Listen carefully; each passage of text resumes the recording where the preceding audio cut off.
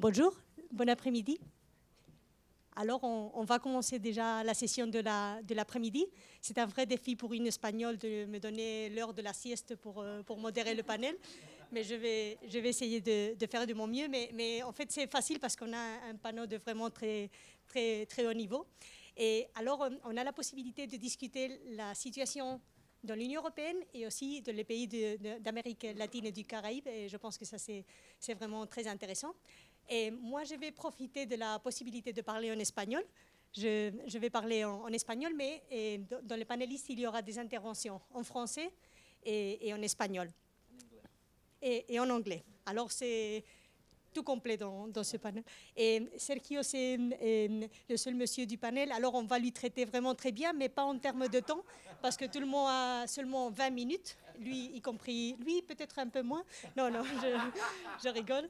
Et 20 minutes chacun, et on m'a demandé d'être très strict avec le temps. Alors, je vais. Et je vais commencer par une petite introduction de la politique de développement rural dans l'Union européenne. C'est vraiment très courte et c'est simplement pour donner pied à, à qui va continuer après.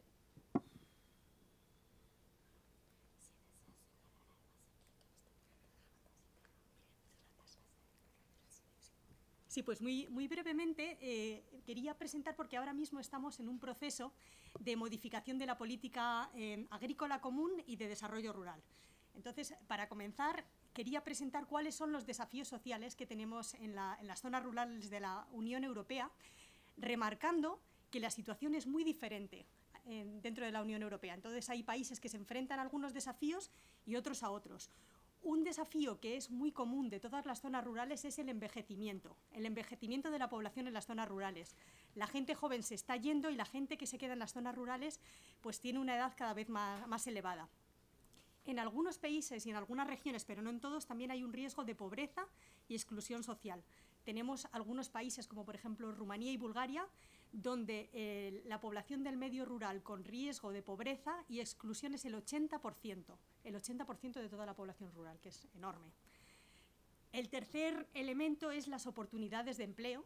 Eh, por supuesto, para que alguien se quede en el, medio rural tiene que haber oportunidades y en algunos casos vemos que no es un problema, pero en otros vemos que también eso conduce a que la gente se vaya del medio rural por falta de oportunidades.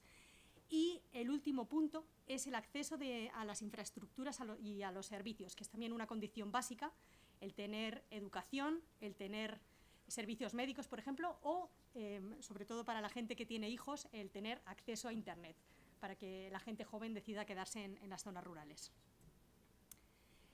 Tenemos eh, la política agraria común que hemos empezado ahora a reformar y estamos ahora discutiendo con, los países y el Parlamento Europeo para el periodo 2020. Para la gente de América Latina y del Caribe, por daros unos pequeños datos, la agricultura de la Unión Europea es prácticamente la mitad de la superficie total, un 48%, si se consideran los bosques se llega hasta el 85%, o sea que en términos de superficie es muy importante. Em, esta, esta, agricultura em, em, proporciona alimentos para una población de 500 millones de habitantes, y los empleos que se crean, el sector de la agricultura es muy limitado, pero si se incluye la cadena de valor se llega hasta los 44 millones de empleos en toda la, cadena de valor. Para el futuro, se, piensa que un objetivo prioritario y que se, trata de reforzar es el tema de la innovación y el conocimiento. Eh, para ello pedimos a todos los países que en el futuro tengan en cuenta estos objetivos e, y expliquen cómo van a, llevarlos a cabo y cómo van a eh, utilizar los fondos de la Unión Europea o los fondos nacionales para, cumplirlos. Y para ello también fomentamos la cooperación entre los actores locales y eh, proporcionamos también posibilidades de asesoramiento. La política de desarrollo rural es lo que se llama el segundo, el segundo pilar de la política agraria común. Y para aquellos que no la conozcan bien, simplemente para, explicar cómo funciona, es como si fuera un menú de un restaurante. Entonces es un menú de un restaurante que nosotros damos a los países y a las regiones y en un menú pues hay muchos platos y cada país o cada región, en función de, de la situación que tengan o del hambre que tengan, pues utilizan unos platos o utilizan otros, que esos platos están legislados en unos reglamentos comunes. Hay un pequeño truco porque a todos les obligamos a tomar ensalada. Con esto me, refiero, es obligatorio que un 30% del presupuesto total se utilice para fines medioambientales o de cambio climático. Pero bueno, eh, al final cada país en función tiene que hacer un análisis de sus necesidades y de su situación y luego pues eh, aplicar los distintos platos en función del apetito que tengan y del colesterol, de los niveles de colesterol que tengan. En el futuro de la política agraria común, que es a partir del año 2021, eh, hemos tratado de simplificar. Entonces, el menú que, presento ahí en la esquina se ha limitado el número de platos. Entonces, para el desarrollo rural, ahora tendremos ocho grandes intervenciones que los países podrán utilizar. Aquí tengo, por ejemplo, inversiones, cooperación, eh, medidas específicas para las zonas con desventajas, etc. Voy a tener que ir rápido para que eh, los otros intervenientes tengan, eh, un tiempo adecuado, pero luego esta presentación estará disponible. Y aquí, para terminar, les he puesto algunos ejemplos de casos prácticos de proyectos financiados por la política de desarrollo rural. El primer ejemplo, por ejemplo, es eh, un, proyecto de Finlandia, donde en las zonas donde tienen dificultad para acceso al servicio médico, se ha puesto a la disposición una furgoneta que va por las zonas rurales, sobre todo para prestar atención médica a las personas eh, de mayor edad. Otro ejemplo que tenemos aquí son unos seminarios en, Suecia que son eh, sobre temas que las comunidades rurales eligen y luego se retransmiten online para que la gente pueda participar y también para que, lo puedan ver. En esta otra página también hay unos proyectos muy interesantes que lo que hacen es, a través de productos locales, le dan valor. Por ejemplo, el proyecto de arriba es un proyecto de Bélgica, donde a través del azafrán pues, se da ayuda para tratar de mejorar el poner en valor los productos que, producen. Entonces, por ejemplo, eh, para mejorar el marketing, el etiquetado, las redes de distribución, etcétera. Y el proyecto que está en la esquina es un proyecto muy interesante, es la Ruta del Chocolate en el Reino Unido, donde se trata de fomentar el turismo rural y entonces se establece una ruta del chocolate a través de distintos pueblos y que la gente va, recorriendo y entonces hace pues, que, también em, se desarrollen las zonas, em, las zonas que, que, están incluidas en el proyecto. Este proyecto no lo conozco, pero, pero creo que intentaré conocerlo pronto. Eh, y ya para terminar, eh, quería resaltar el libro blanco sobre el futuro de Europa, que se, publicó recientemente y es el objetivo que tenemos para 2025, donde un mensaje muy importante es que nadie debe quedar atrás. Y esto aplica a los del norte y a los del sur, a los del este y a los del oeste, pero también a los del mundo urbano y a los del mundo rural. Todos los ciudadanos eh, deben ser considerados por las políticas de, de la Unión Europea y nadie puede quedarse atrás. Y con esto he terminado mi presentación y le voy a dar la, palabra directamente a, a, Eloís, que nos va a dar eh, información más detallada sobre el, desarrollo rural y que tiene una gran experiencia sobre eh, la política de desarrollo rural eh, aquí dentro de la organización, en la administración francesa. Muchas gracias.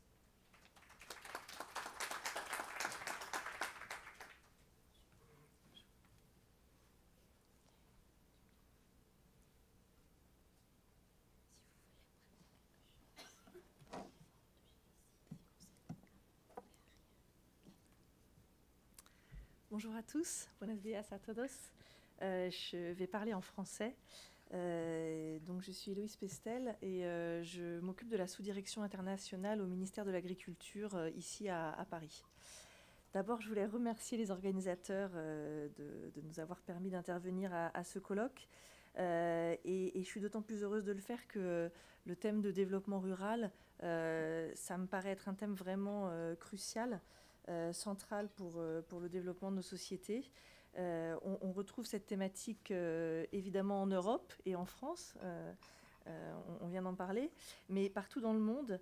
Et, c'est un des thèmes sur, le, sur lequel je crois il est important qu'on puisse avoir des, des, discussions, des dialogues avec l'ensemble des pays et l'ensemble des acteurs pour pouvoir avoir des, échanges de, de, bonnes pratiques, connaître les politiques qui sont mises en place dans les, différents pays euh, et, pouvoir ensemble réfléchir euh, à, quelles sont les, bonnes solutions qu'on peut, euh, qu'on peut mettre en place. nous, au, ministère de l'Agriculture, c'est un thème sur lequel on discute souvent avec les autres ministères des autres pays en bilatéral. C'est aussi un thème qu'on porte en multilatéral dans différentes enceintes comme, comme à la FAO. Et, c'est aussi le, thème qu'a choisi notre ministre en marge du dernier Salon international de l'agriculture en, mars dernier. Il avait réuni une vingtaine de ministres étrangers. Et c'est sur ce thème, sur ce thème, sur la question du, développement des territoires ruraux et des perspectives que ça donne à la jeunesse, c'est sur ce thème qu'ont travaillé les ministres. Euh, et, ça avait donné lieu à des échanges vraiment intéressants où on pouvait voir que les contextes étaient très différents, notamment en termes de dynamique des populations. Euh, euh, dans certains pays, il y avait plutôt des, questions de difficulté à, renouveler les populations, alors qu'à l'inverse, sur d'autres continents, on avait un afflux de jeunes qui arrivaient. Et, donc l'idée, c'était de, même si les contextes étaient différents, ce qui était très intéressant, c'était de voir que les enjeux étaient vraiment partagés. Euh, et, des solutions euh, communes euh, ont émergé de ces, échanges. Finalement, le sujet du, développement des territoires ruraux, bah, il dépasse la question du développement de l'agriculture, la question de l'agriculture, parce qu'il en emporte des, enjeux qui sont bien plus larges que l'agriculture, des enjeux de développement économique, évidemment, des enjeux d'égalité territoriale, mais aussi des enjeux de gestion des migrations, notamment migration euh, campagne-ville, et voire même des enjeux de sécurité. Mais une fois qu'on a dit ça, on peut quand même euh, avoir en tête que l'agriculture et au sens large même l'agroalimentaire sont une partie de la solution au développement, même une grande partie de la solution au développement des, territoires ruraux. Parce que c'est des secteurs qui apportent justement des opportunités. Des opportunités en termes, en d'emploi, en termes de développement économique. Euh, et donc, euh, c'est pour ça que les sujets agricoles restent quand même centraux sur, euh, sur ces questions-là. Alors moi, ce que je voulais faire pour cette présentation, c'était rapidement vous présenter la politique de développement rural dont on a commencé à parler tout à l'heure, donc dans l'Union européenne et comment on l'applique en France, et puis faire un zoom sur les, les, indications géographiques qui sont un outil privilégié pour nous euh, quand on parle de développement des territoires ruraux.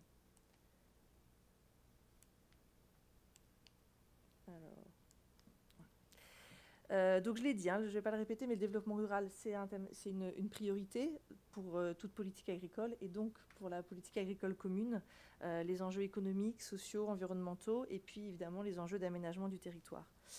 C'est pour ça que depuis 2003, on a un fonds européen qui est dédié à ce sujet, le, FEADER, qui représente environ 15% euh, du, budget de la PAC. c'est variable, mais c'est pour donner une ordre d'idée, donc c'est un, fonds euh, euh, assez important.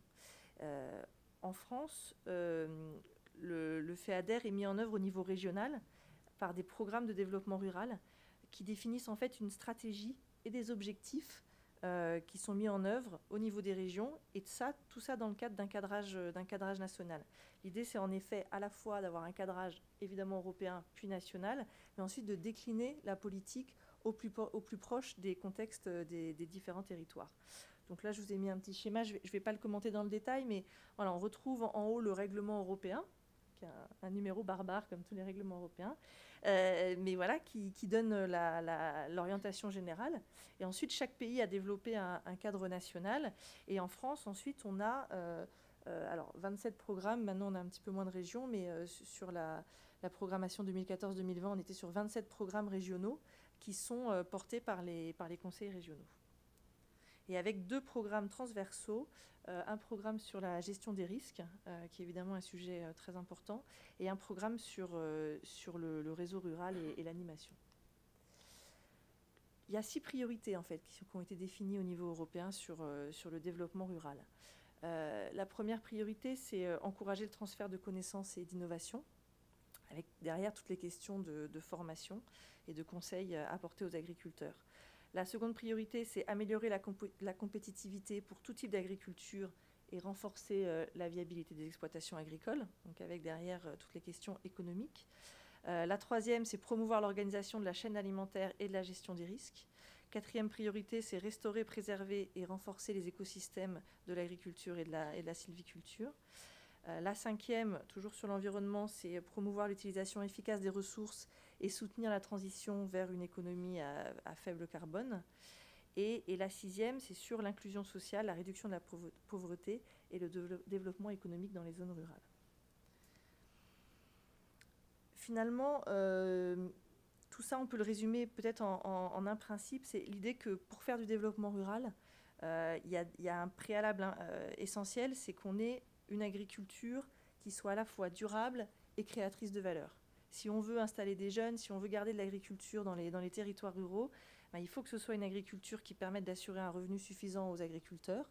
Euh, donc il faut avoir une, une, agriculture qui permet de créer de la valeur et il faut aussi avoir une agriculture qui est durable, euh, qui peut s'inscrire dans le temps et donc qui préserve euh, les, les, ressources naturelles et qui permettent à, l'agriculteur de pouvoir faire face à, à, tout, au changement climatique et à l'ensemble des, difficultés qui sont liées aux, aux risques environnementaux. Donc ça, c'est un peu le, je crois, on peut un petit peu résumer ça comme principe général. Et derrière, du coup, se déclinent les priorités qui ont été décidées au niveau européen. Et ensuite, il y a une boîte à outils, donc, euh, comme ça a été dit, avec de très nombreuses euh, mesures pour finalement accompagner euh, les, agriculteurs pour obtenir cette, cette, agriculture durable et créatrice de valeur. quelques exemples de, mesures. il y a beaucoup de mesures sur, sur la formation et le, et le transfert de connaissances. des mesures aussi d'investissement pour, pour permettre euh, aux exploitations de se moderniser. Euh, des mesures euh, agro-environnementales et, les mesures pour, climatiques, des mesures pour l'organisation des filières, des mesures dédiées à la gestion des risques et à la résilience des exploitations. Et, donc en fait, c'est dans cette boîte à outils ensuite que, qu'on va piocher pour apporter à chaque fois des solutions efficaces et adaptées aux, différents territoires. Et je voulais insister sur une mesure un peu transversale euh, qui s'appelle la mesure stratégie de développement local et leader, qui en fait, euh, au-delà d'une mesure, c'est vraiment une, méthode, une mesure méthode, euh, avec une approche ascendante. L'idée de cette mesure étant de s'appuyer sur des partenaires locaux pour mettre en place, pour proposer une stratégie locale de, développement qui est donc conçue par, le, par des acteurs du, territoire dans un partenariat local public-privé. on a un groupe d'action locale qui est mis en, place pour, euh, pour, définir cette stratégie, et avec une approche globale multisectorielle. Donc là, vraiment, on est dans, euh, des, projets de territoire euh, qui, sont, qui collent complètement au contexte et aux défis des territoires concernés. Et, et qui permettent ensuite d'activer des, mesures et, des aides avec des crédits européens et des crédits nationaux. On a 340 territoires de projets qui, qui ont été sélectionnés en France et ça représente euh, un budget conséquent de 700 millions d'euros euh, sur le FEADER. Voilà, donc voilà une présentation. Euh, évidemment, je ne peux pas rentrer dans tous les détails, mais un peu sur la philosophie et, comment est conçu le, programme de développement durable. dans ce programme, il y a un, outil qui, est, qui permet notamment de répondre aux, défis que j'ai énoncés tout à l'heure, d'avoir une agriculture durable et créatrice de valeur c'est l'outil de, des indications géographiques. Euh, c'est vraiment un outil qui permet, euh, dans des zones défavorisées, mais enfin dans toutes les zones, euh, de créer une, source de valeur pour les agriculteurs et de s'appuyer sur les contextes locaux, l'histoire, la culture, et, y compris les, questions environnementales et de ressources naturelles. Rapidement, l'origine du concept, c'est né en fait de la volonté de lutter contre les contrefaçons Hein. donc il y avait euh, des, des, produits qui étaient connus, qui avaient un nom euh, renommé, euh, comme, le, comme le Roquefort, et, qui faisaient l'objet de contrefaçons avec la commercialisation d'autres produits sous le même nom, mais qui n'étaient pas les, mêmes produits. donc il y a eu assez rapidement, dès le début du XXe siècle, des mises en place de lois et décrets. Et la première appellation fromagère qui a été reconnue, c'est justement le, le, Roquefort. Et puis ensuite, il y a eu un décret, euh, une loi, un décret-loi en, 1935 sur la défense des marchés du vin. Et en 1947, donc euh, ça remonte un petit peu, création de l'Institut national des appellations d'origine, euh, qui est donc l'agence en France qui, qui s'occupe de la gestion et du développement des indications géographiques. Très rapidement, au niveau européen, on a deux types d'indications géographiques. Les appellations d'origine protégée, où là, c'est vraiment toutes les étapes euh, qui, euh, de, préparation du produit qui ont lieu dans, dans l'aire géographique limitée et euh, on a un lien direct aux qualités et aux caractéristiques du haut milieu. Et puis on a les indications géographiques, les, indications géographiques protégées, pardon, où là on, est, on, peut être plus sur la partie agroalimentaire, et pas seulement agricole, donc ça permet d'élargir. Et au moins une étape a lieu dans, dans l'aire géographique protégée. Quelques chiffres pour vous montrer l'importance des, IG en, France. on a 671 indications géographiques à ce jour. la majorité, c'est les vins, mais on a aussi de nombreuses AOP dans l'agroalimentaire, dont 50 dans le secteur litier, qui est le secteur le plus important. Et puis 137 euh, indications géographiques protégées, donc les, IGP dont je vous parlais, sur des produits agroalimentaires. On a un chiffre d'affaires euh, en France qui est le plus important euh, d'Europe, et c'est vraiment un outil qui apporte de la valeur aux filières agricoles françaises. On a essayé de résumer sur cette euh, diapositive les, bénéfices pour le territoire, comme c'est un peu le sujet d'aujourd'hui. Le premier bénéfice évident, je dirais, c'est celui le bénéfice économique. donc, ça permet de valoriser la, production, d'avoir des prix meilleurs, d'éviter des délocalisations. Et, et, puis derrière, ça entraîne aussi des, potentielles retombées économiques sur, sur d'autres secteurs, comme par exemple le tourisme. il y a aussi une retombée qui est complètement lié sur l'emploi, avec des emplois directs et des emplois euh, indirects. Euh, une retombée sur, euh, sur l'environnement, avec une préservation de la biodiversité, des paysages et, des, et, des, et, de, et des pratiques. Et, et aussi une, retombée sur les traditions. On, conserve comme ça une diversité de, produits, de manières de faire, euh, une vraie identité euh, entre le, territoire et le produit euh, sur lequel il est créé. et puis je dirais aussi, si je peux rajouter sur ce sujet un peu tradition, il y a aussi, on le voit à chaque fois, une fierté des agriculteurs, une, vraie connexion de l'agriculteur aux produits qu'il propose grâce à cette valorisation sous, indication géographique. Justement, pardon, les producteurs, ils sont évidemment au cœur du dispositif. Euh, c'est l'organisme de défense et de gestion qui est composé euh, des producteurs euh, intéressés par le projet, qui est en charge de, préserver le patrimoine partagé, en fait, qui est l'appellation d'origine ou l'indication géographique. Et c'est cet organisme de défense et de gestion qui doit définir et qui met en œuvre l'ensemble des conditions nécessaires pour que cette, cette appellation d'origine euh, bah, soit viable, euh, soit un succès, euh, assure aux consommateurs ce qu'ils attendent et, évolue dans le temps en fonction de, l'évolution du contexte. Alors rapidement, ouais, alors rapidement, du coup, quelques exemples d'indications géographiques. D'abord, l'AOP oignon doux des Cévennes. Donc là, euh, c'est très intéressant parce que c'est euh, un oignon dont euh, les caractéristiques sont directement liées aux facteurs naturels, avec les reliefs accidentés et un climat méditerranéen, et des sols sableux. liés à ces facteurs naturels, du coup, il y a des facteurs humains, avec une, culture de l'oignon de cette région sur des, sur des terrasses, comme vous pouvez le voir sur la photo. Et donc, tout ça crée la spécificité du produit, avec un aspect nacré, et euh, un goût euh, euh, qui est doux en fait pour, pour un oignon. Donc là, on a vraiment tous, les, tous les, les ingrédients pour, pour l'indication géographique. Et le fait d'avoir créé cette indication géographique oignon doux des Cévennes, ça a permis d'augmenter le nombre de producteurs. On a 120 producteurs aujourd'hui, on en avait 30 en 2003. Et, et, ça a permis aussi de maintenir ces, ces paysages. Sur le comté, euh, là on est sur une échelle euh, encore plus importante. On a 2600 producteurs de lait euh, qui travaillent sur, le, comté. on a des valorisations importantes du, prix du lait qui est payé aux producteurs, qui, qui peuvent aller jusqu'à 50%. C'est un petit peu difficile à calculer, hein, mais environ on estime qu'il y a une, valorisation de, de, 50% du, prix du lait. Euh, et puis, euh, donc, il y a des exportations. C'est un produit qui s'exporte euh, dans de nombreux pays. Et puis, il a, été créé aussi les routes du comté, donc la partie touristique, qui, qui, fait un lien entre justement le tourisme et la gastronomie, et qui compte plus de 200 000 visiteurs par an. Dernier exemple, le, piment d'Espelette. Donc là, on est, dans, le, Pays basque. Euh, avec 204 euh, producteurs. Donc c'est une culture qui date du XVIe siècle. 204 euh, producteurs, 160 tonnes de production annuelle. Et on estime à 650 emplois directs, et là aussi une dynamisation du territoire avec de nombreux euh, événements qui sont euh, organisés en lien avec cette, euh, cette, indication géographique.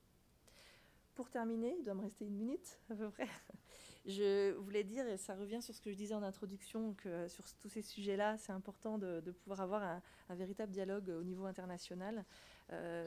donc on, travaille avec de nombreux pays sur sur les indications géographiques. On a des, programmes de coopération internationale. Donc quelques exemples.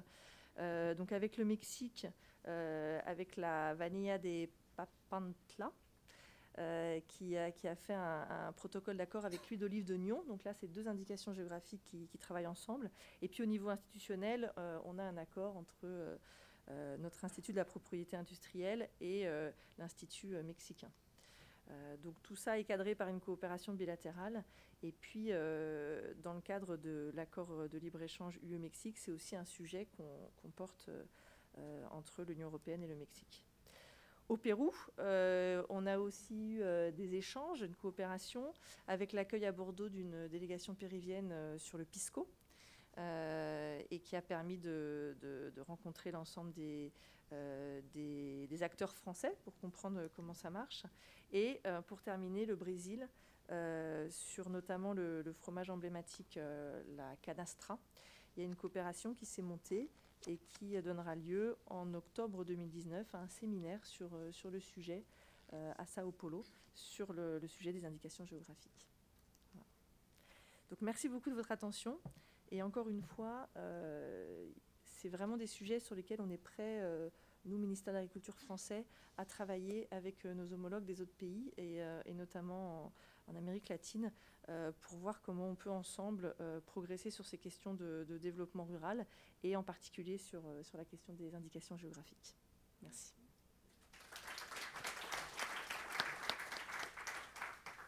Merci beaucoup. Et Héloïse, ça a été vraiment très intéressant. Je, garde deux phrases que vous aviez dites. La première chose, c'est que le développement rural passe par l'agriculture, mais ce n'est pas seulement l'agriculture. Et après, les dénominations d'origine, la fierté des gens qui suivent les dénominations d'origine. J'invite à tout le monde qui reste à Paris ou en France à essayer d'écouter les dénominations d'origine le dîner aujourd'hui. Et je passe la parole maintenant à Sergio Schneider qui est professeur de sociologie et du développement rural et d'études de l'Université fédérale de Rio Grande. Et je pense qu'il va faire sa, présentation en anglais. Et on va faire les deux présentations d'un coup et après on, aura un, petit débat de, 10 minutes. Euh, merci Maria pour l'introduction. Euh, je voulais parler en français, mais mon français, c'est pas suffit euh, pour une présentation. C'est parce que je veux parler en anglais et pour moi, c'est plus facile. Well, um, I would like to thank uh, to Martin and uh, Eric for the invitation.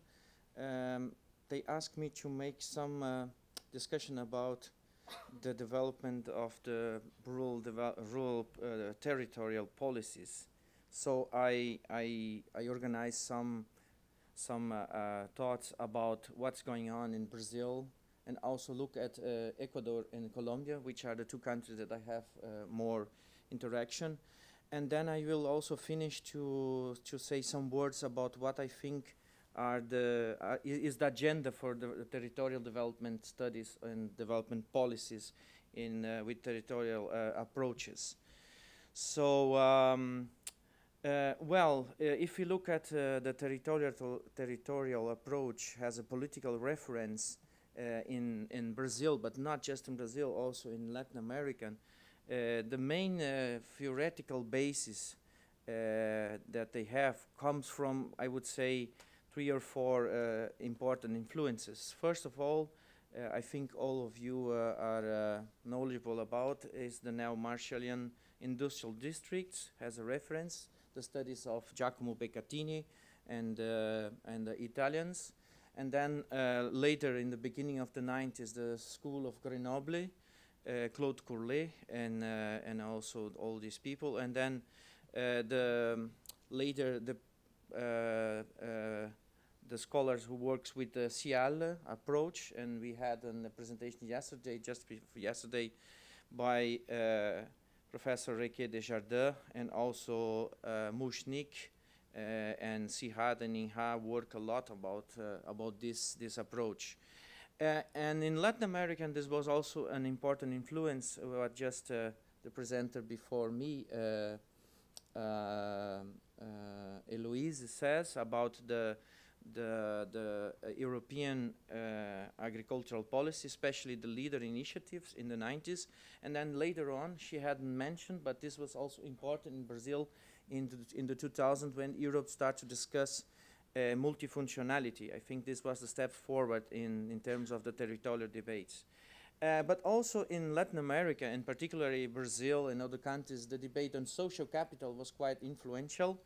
Uh, and, uh, and also the policy agenda uh, of participatory approaches that was supported by the World Bank in the beginning in the, in, in the, in the mid of the 90s onwards. So, uh, and how uh, territorial approaches land uh, in, in Latin America? Well, there are some, some main issues. First, and, and it was a very influential work of uh, Julio Verdaguer and Alexander Chetman in, uh, in, in with the, NGO REMISP. Uh, Angela is here from this institution. They still work with this, with this approach. They have become very influential all over Latin America. Uh, not quite that in uh, in Brazil. Uh, also, the Latin American Institute of Agricultural Cooperation (ICA) had uh, had some uh, important inf influences, especially Ecuador, Colombia, and also Mexico. Uh, Brazil creates in 2004 a special secretary a body in the Ministry of Agrarian Development dedicated to uh, uh, territorial uh, development at the time. in Ecuador, territorial approach was pushed forward by Manuel Chiriboga. Unfortunately, she, he dies a couple of years ago and currently by Pablo Spina and some other colleagues. In Colombia, uh, uh, Rafael Echeverri, who is now the director of ICA in Mexico, and, and recently I talked with some colleagues under the uh, peace agreements, people are trying to do uh, and push forward to the territorial focus. And in other Latin American countries here and there, we have, you have also influences from the CIAL approach and also the work of uh, Professor Bernard Becker. So, uh, in short, what are the outcomes of the territorial approach and policies in Latin America? I also just would like to to give some flavor, to give some highlights of some uh, some ideas. I cannot summarize all of that, but I think uh, if we say that uh, first, the local and regional space emerged in in Latin America as a new public planning unit and intervention uh, dimension. This was, this was quite important for countries, for policymakers to have a new reference, not just the local, the municipality, and not, not just the national level, but also then this intermediate, intermediary uh, um, uh, space and, and, and focus. And second, social inequalities and poverty were, were quite strongly uh, addressed, has, re has regional dimensions in general, uh, uh, uh, at time before the, the, territorial debates, inequalities and rural poverty was was faced in Latin America as a as an issue of, of all over the countries, all, all over the, the countries. It's not true. Uh, South Brazil, for instance, is completely different from the Northeast, and, and Andean region is completely different from Argentina. So we have to take in account the space has a place to think about how development is going on. And then immediately it comes on the third point that is the relation of, of the urban and rural relation that was readdressed uh, and, and, broadening, uh, uh, uh especially including the role of the cities. Uh, never rural development in, the, in the 60s and the 70s has been uh, thought in Latin America has uh, has had uh, has has an, an, an, importance for the urban cities. For instance, what uh, Arilson says yesterday about the the rural non-farming economy or services, they were also addressed by the territorial approach. and fourth and fifth, when progressive governments like Lula, Kirchner, Correa, Bachelet, well, it, brings me a lot of, uh, of missings because now we are so different in Latin America. These names are so important. Uh, uh, came on power, uh, uh, this approach has become also uh, a part of the of, of, the of the policy instrument, the policies devices. So I think we can say in certain uh, extent that uh, territorial governance of policies and initiatives become uh, an important device for make policies in during these times. Uh, the scenario is is nowadays completely different, uh, but at time it was important. But two, two issues re still remain as open questions and uh, a, a, kind of contentions that we can discuss.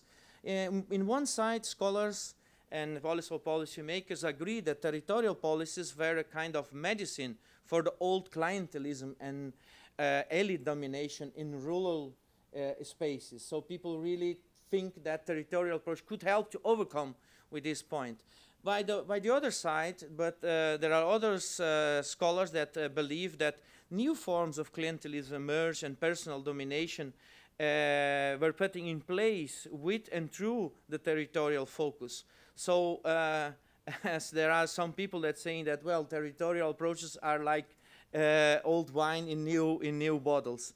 Uh, to, to, tell you the truth, I don't know the, the, end of the story. I don't know who is right and who is wrong but this is, uh, this, is the, this is the debate.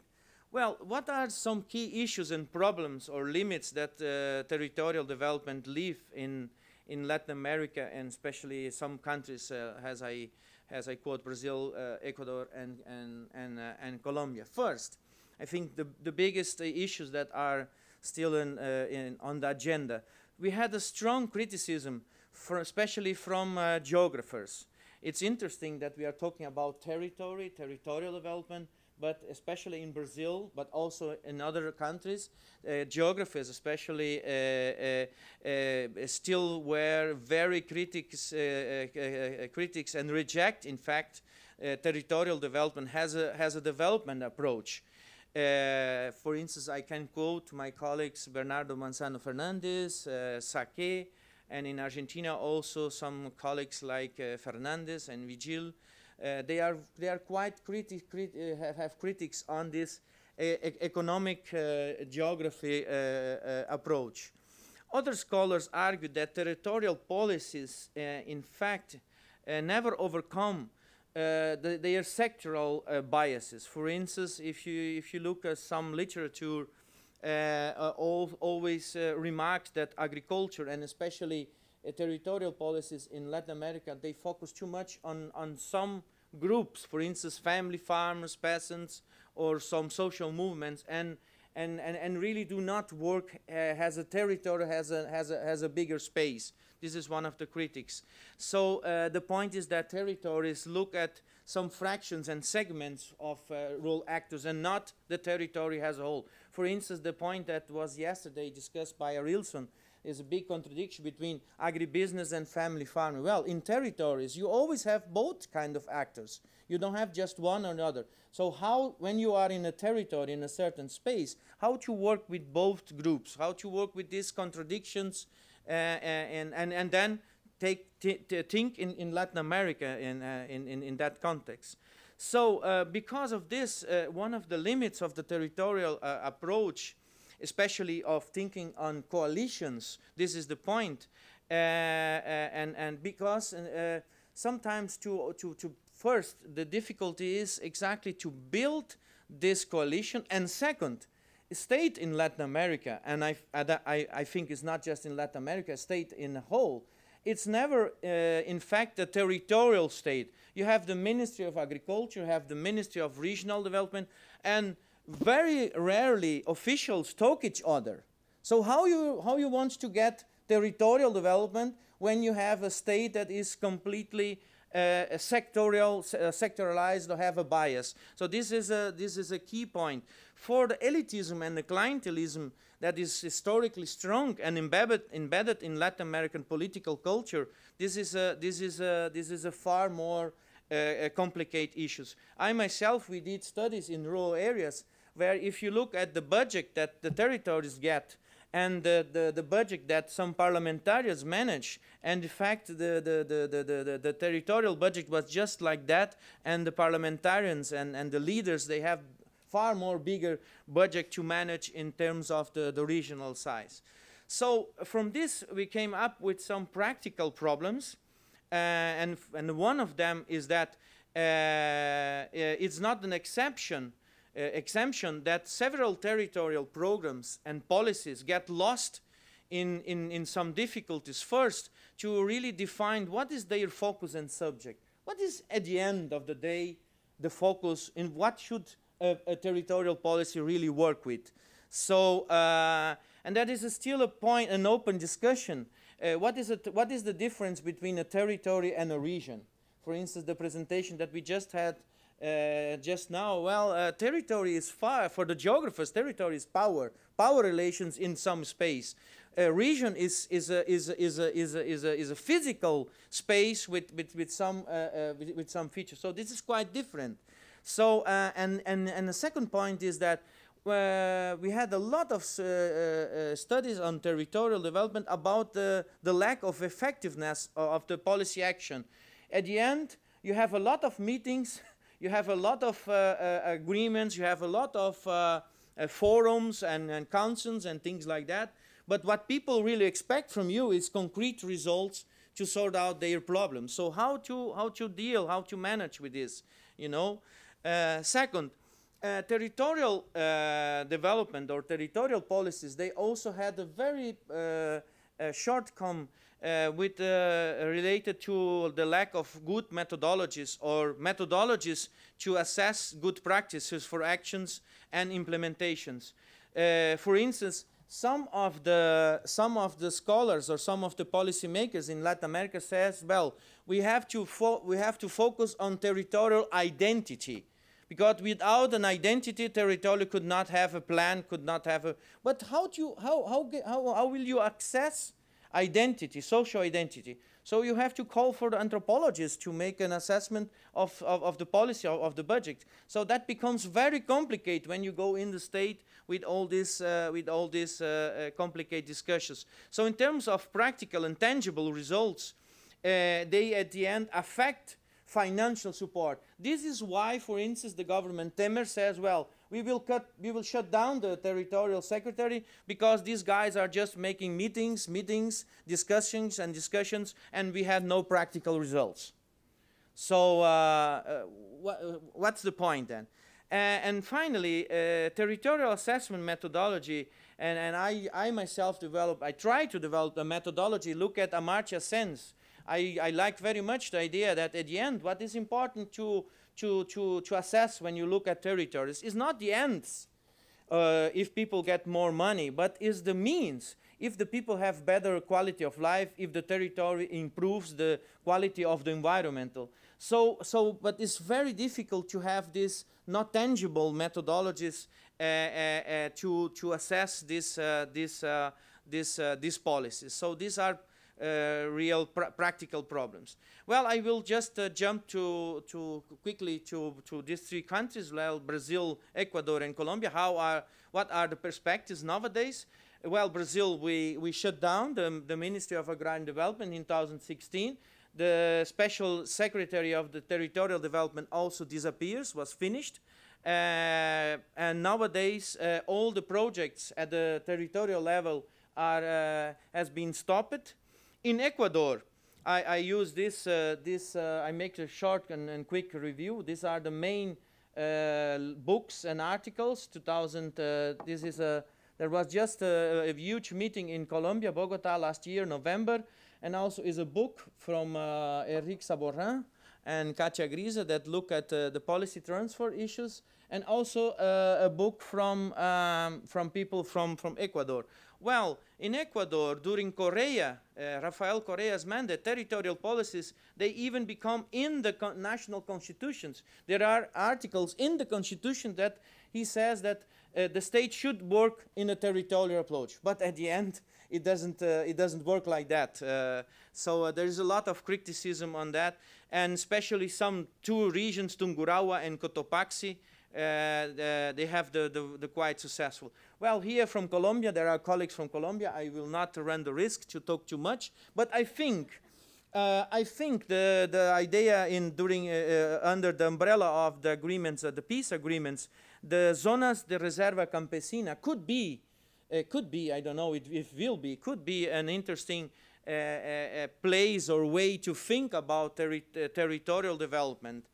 Uh, well, let me finish in, in, in two minutes with uh, what I think can be the feature and how territorial approach can relate to the, to the wider uh, discussion on the SDGs or, uh, or, or, the agenda of the new food studies. I think uh, territorial development have, have, uh, have, have to look at how, to, how, to how to connect with these two new big issues, the new food studies and the urban rural linkages.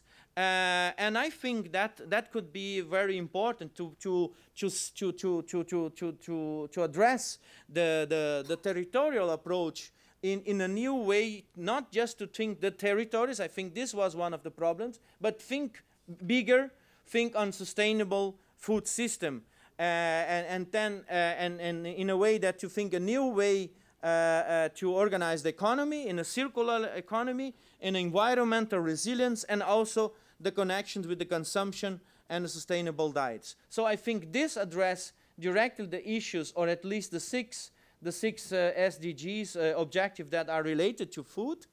Uh, cities are deadly important. You know, there are several reasons. I, I have no time to tell why, but uh, I think the first and the, the, the, the why the reason is, well, cities have hunger. If they get, not supplied with food, people get uh, upset, and when they get upset, some uh, the, the streets can make uh, polit political changes. So this, I think, is one of the, the ones. And uh, uh, territorial thinking, I, I, think, is very important to readdress uh, the, the local regional food system, thinking on provenance, place, and, and, and processes. So in that sense, I, I would end up with some uh, uh, four uh, new territorial approaches that are ongoing and are, are, emerging.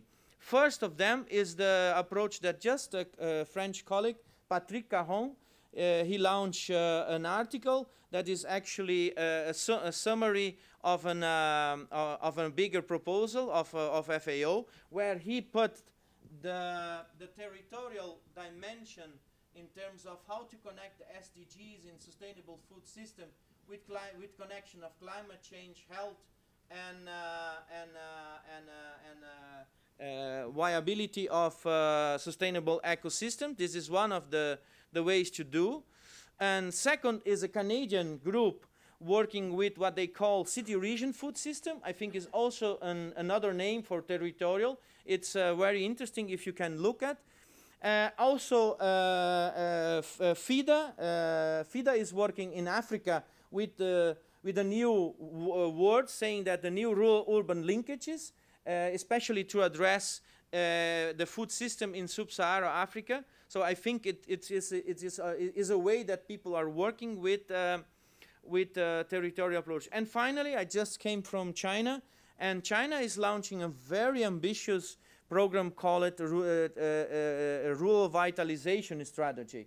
And they are working with all with this with these connections. Here are some of the basic uh, principles. I cannot uh, go uh, more uh, more ahead, but this is clearly a way that uh, agriculture, food production, cities, and regional development all come together for this uh, for this vitalization strategy of, of, of the governments. My final points are, first, territorial development is about new ways and to face and deal with power issues at the spatial level. But is there a way to escape from clientelism and the different ways that actors uh, try to catch uh, the state and, and if, if is, how?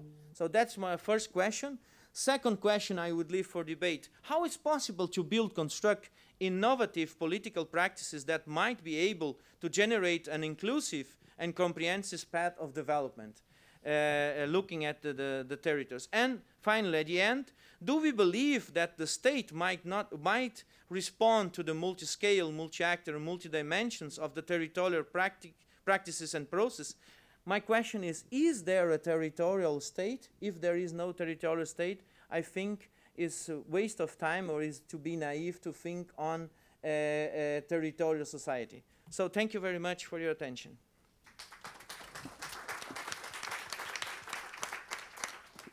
Thank you very much, um, Sergio. Now we have time for some some questions. Um, uh, from your intervention, I, I, I took some important messages. First, the territorial approach that you that you developed. Then also this message of the um, old wine in the new in the new bottles, and the relations between the different ministries. I think we have quite many similarities, Latin America, Europe. I think on, on that respect, and then these linkages between agriculture, food productions, rural areas, and cities that should be really considered. And I see already some, some questions over there. Um, Sergio, obrigado. However, you're skirting the issue. You come up with new approaches and you're getting there and you're getting there, but the word hasn't come out yet, and the word is bioeconomy. Because if you, in the end, boil it down to bioeconomy, where the natural resources are the, the, the minimum unit of, of starting to build up, then it starts answering your, your desafíos there. Thank you. I totally agree. Thank you. Bueno, ah, sí, ah, bueno, eh, eh, muchas gracias Sergio y a todos por la presentación. Yo tengo como una pregunta, pero también inquietud. Uno de los desafíos más importantes de- del desarrollo territorial es las limitaciones que hay para evaluar sus resultados.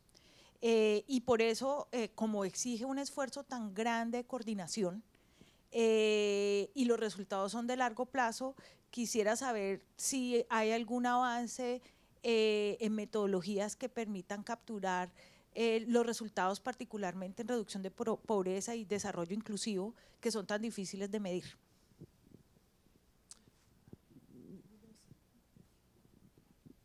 Oui, effectivement, je, je- vous avez raison, c'est un, un sujet central.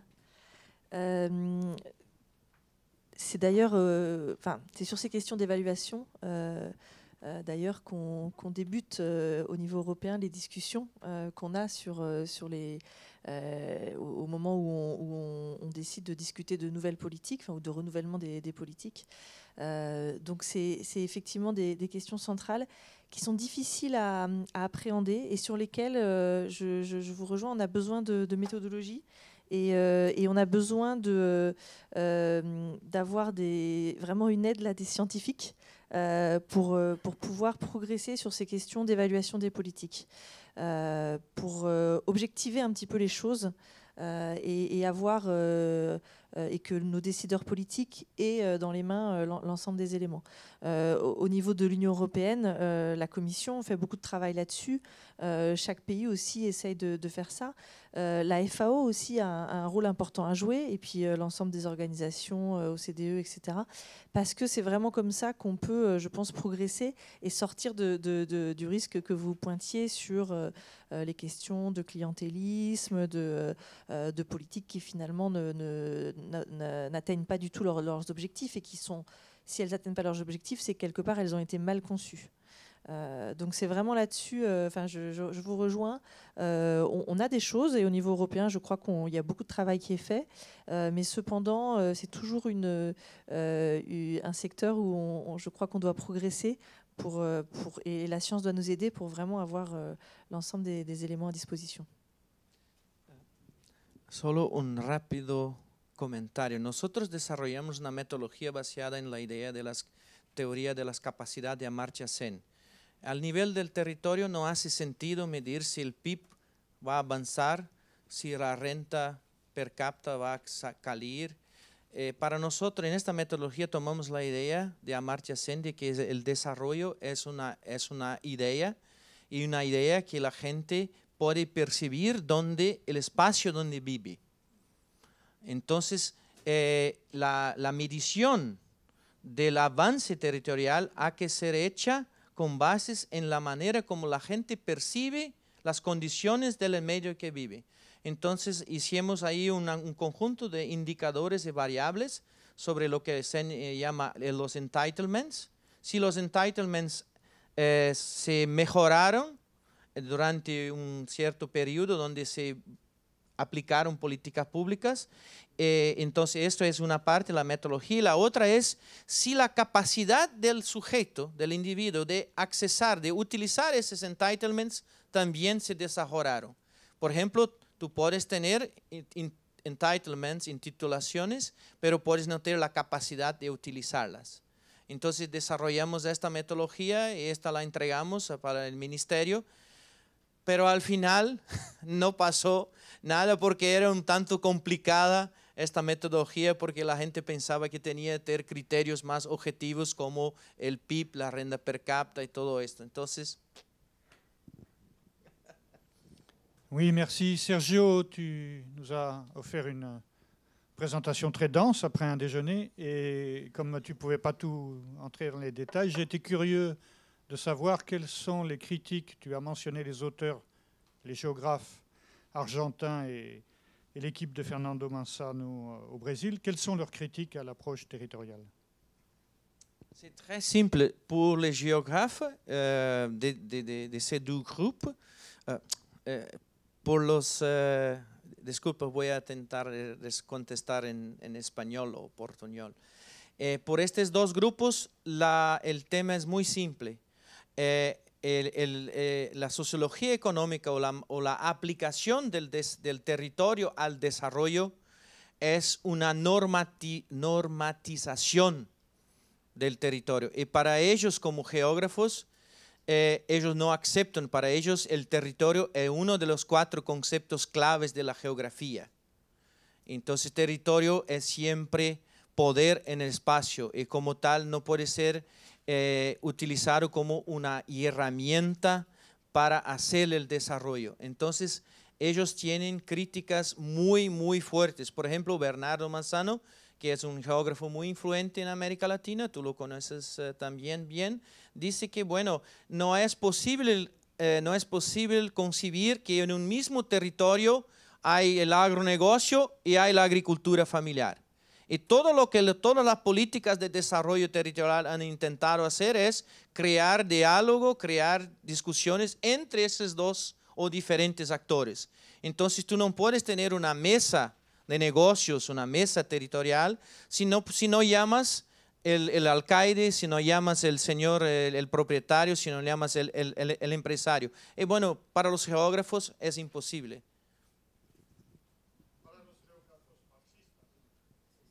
Y para los otros institucionalistas también. Bueno, muchas gracias por las je propose de, continuer parce qu'on a encore de présentations très intéressantes. La, prochaine intervention eh, sera par eh, Evelyne Mesclier, qui est directrice de l'Institut français des études andins. Et elle a beaucoup d'expérience dans la situation des pays andins. Elle va essayer de nous présenter les opportunités de, développement avec euh, des, cas concrets de son expérience personnelle. Euh, merci beaucoup. Euh, bonjour et de nouveau à toutes et à tous et merci aux organisateurs de m'avoir invité. je vais essayer de tenir dans le temps et donc d'aller assez vite. donc effectivement, alors je suis en fait chercheur de, de l'IRD, mais je suis actuellement directrice de l'Institut français d'études andines à Lima, au Pérou. Et euh, je vais essayer de, parler de territoires dans les quatre pays andins que je connais euh, un petit peu, c'est-à-dire la Bolivie, l'Équateur, la Colombie et le Pérou, mais je vais aller très vite et je ne vais pas détailler.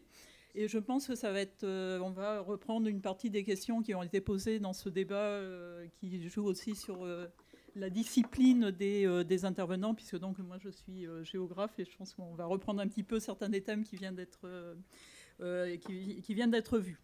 Alors en fait, mon, euh, mon exposé part de la, de la, des constatations euh, suivantes. Euh, en fait, les États, les dans ces quatre pays que je viens de mentionner, les États reconnaissent officiellement, à travers les constitutions, à travers des lois, à travers les législations, il y a aussi des conflits en Colombie, en Équateur, en Amazonie équatorienne, etc. Donc je ne vais pas détailler, mais il y a énormément de conflits. Et donc ça paraît donc a priori quelque peu paradoxal. Et donc, euh, je suis partie de cette constatation, de ce paradoxe, Et pour essayer de, parler de ce paradoxe, je vais vous proposer un plan en trois parties. dans lequel je vais d'abord repartir de la définition de ces territoires reconnus par les États, et donc je reparlerai un petit peu de la conception du territoire. Euh, je vais essayer de parler de la façon dont ces territoires sont pris en compte par les politiques de développement rural et finalement euh, essayer de montrer qu'il y a aussi des, initiatives locales qui sont aussi euh, quelque part souvent des fabriques de territoires et qui répondent en quelque sorte à, à ces contextes assez compliqués, assez paradoxaux, assez contradictoires. je reviens donc rapidement sur les définitions possibles de, de territoire. Euh, euh, je, vais, essayer de, donc de montrer quels sont les territoires qui sont reconnus par ces États, euh, ces pays andins. Et donc, je vais revenir d'abord un tout petit peu sur cette définition de territoire dont on vient de parler. Alors effectivement, territoire, ça a plein de définitions possibles. Et au cours de ce colloque, j'ai entendu beaucoup donc le mot territoire. Euh, je l'ai même entendu euh, dans une même phrase employée euh, selon deux, concepts complètement différents. Alors effectivement, ça peut être une portion de la superficie terrestre en relation avec un individu, un ensemble d'individus. ça peut être une sorte de construction sociale. Il y a une localisation, une histoire, une identité, etc.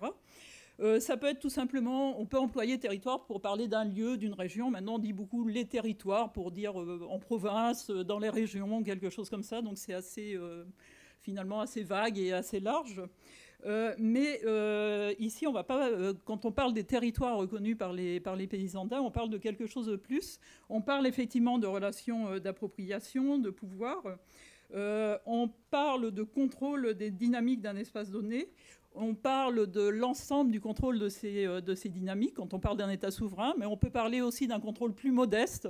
Euh, on peut parler par exemple du contrôle euh, qu'une plantation esclavagiste pouvait avoir sur les individus et les ressources. On peut parler du contrôle qu'a une, une, entreprise sur, sur, sur une portion d'espace. On peut parler aussi d'une identification symbolique. On peut parler, par exemple, de territoire euh, urbain d'un individu qui parcourt les, quartiers d'une ville. Donc, en fait, on a euh, finalement beaucoup de choses qui s'appellent territoire. Et euh, donc, ici, je vais essayer de préciser un petit peu ce qu'on appelle territoire reconnu par l'État dans, dans les quatre pays que j'ai mentionnés. Euh, donc ces, euh, territoires, oui j'ai oublié de vous dire qu'ils sont euh, de plus en plus nombreux aussi quelque part. Et ça a, été, ça a été dit par euh, Bertrand Badi dans un livre qui s'appelle paradoxalement La fin des territoires, et euh, qui dit en fait que le territoire national est maintenant dépassé, il est dépassé euh, par le haut, il est dépassé par le bas, par des territoires qui sont devenus mondiaux, les entreprises mondiales ou les institutions internationales, par des territoires aussi qui viennent du bas. Et donc on est un petit peu dans une situation de multiplication des territoires, et les pays dans lesquels nous travaillons ne font pas exception. Euh, donc, euh, parmi ces territoires, euh, nous avons, j'ai divisé cela en, on, trois catégories. je pense qu'on pourrait proposer d'autres typologies, affiner et améliorer cette, cette typologie. on va avoir d'abord des territoires qu'on connaît bien en France, qui sont des types de territoires construits dans le cadre des décentralisations, les municipalités, les régions avec des autorités élues. Euh, hum, bon, c'est des territoires, donc c'est des élus qui disposent d'un budget, qui gèrent une juridiction. En général, dans les pays dans lesquels nous travaillons, on a un maillage qui couvre tout le pays et qui, euh, donc ce maillage articule en fait les habitants avec l'État central selon des modalités hiérarchisées. Donc ça, c'est ce, en gros hein, ce qu'on connaît en France.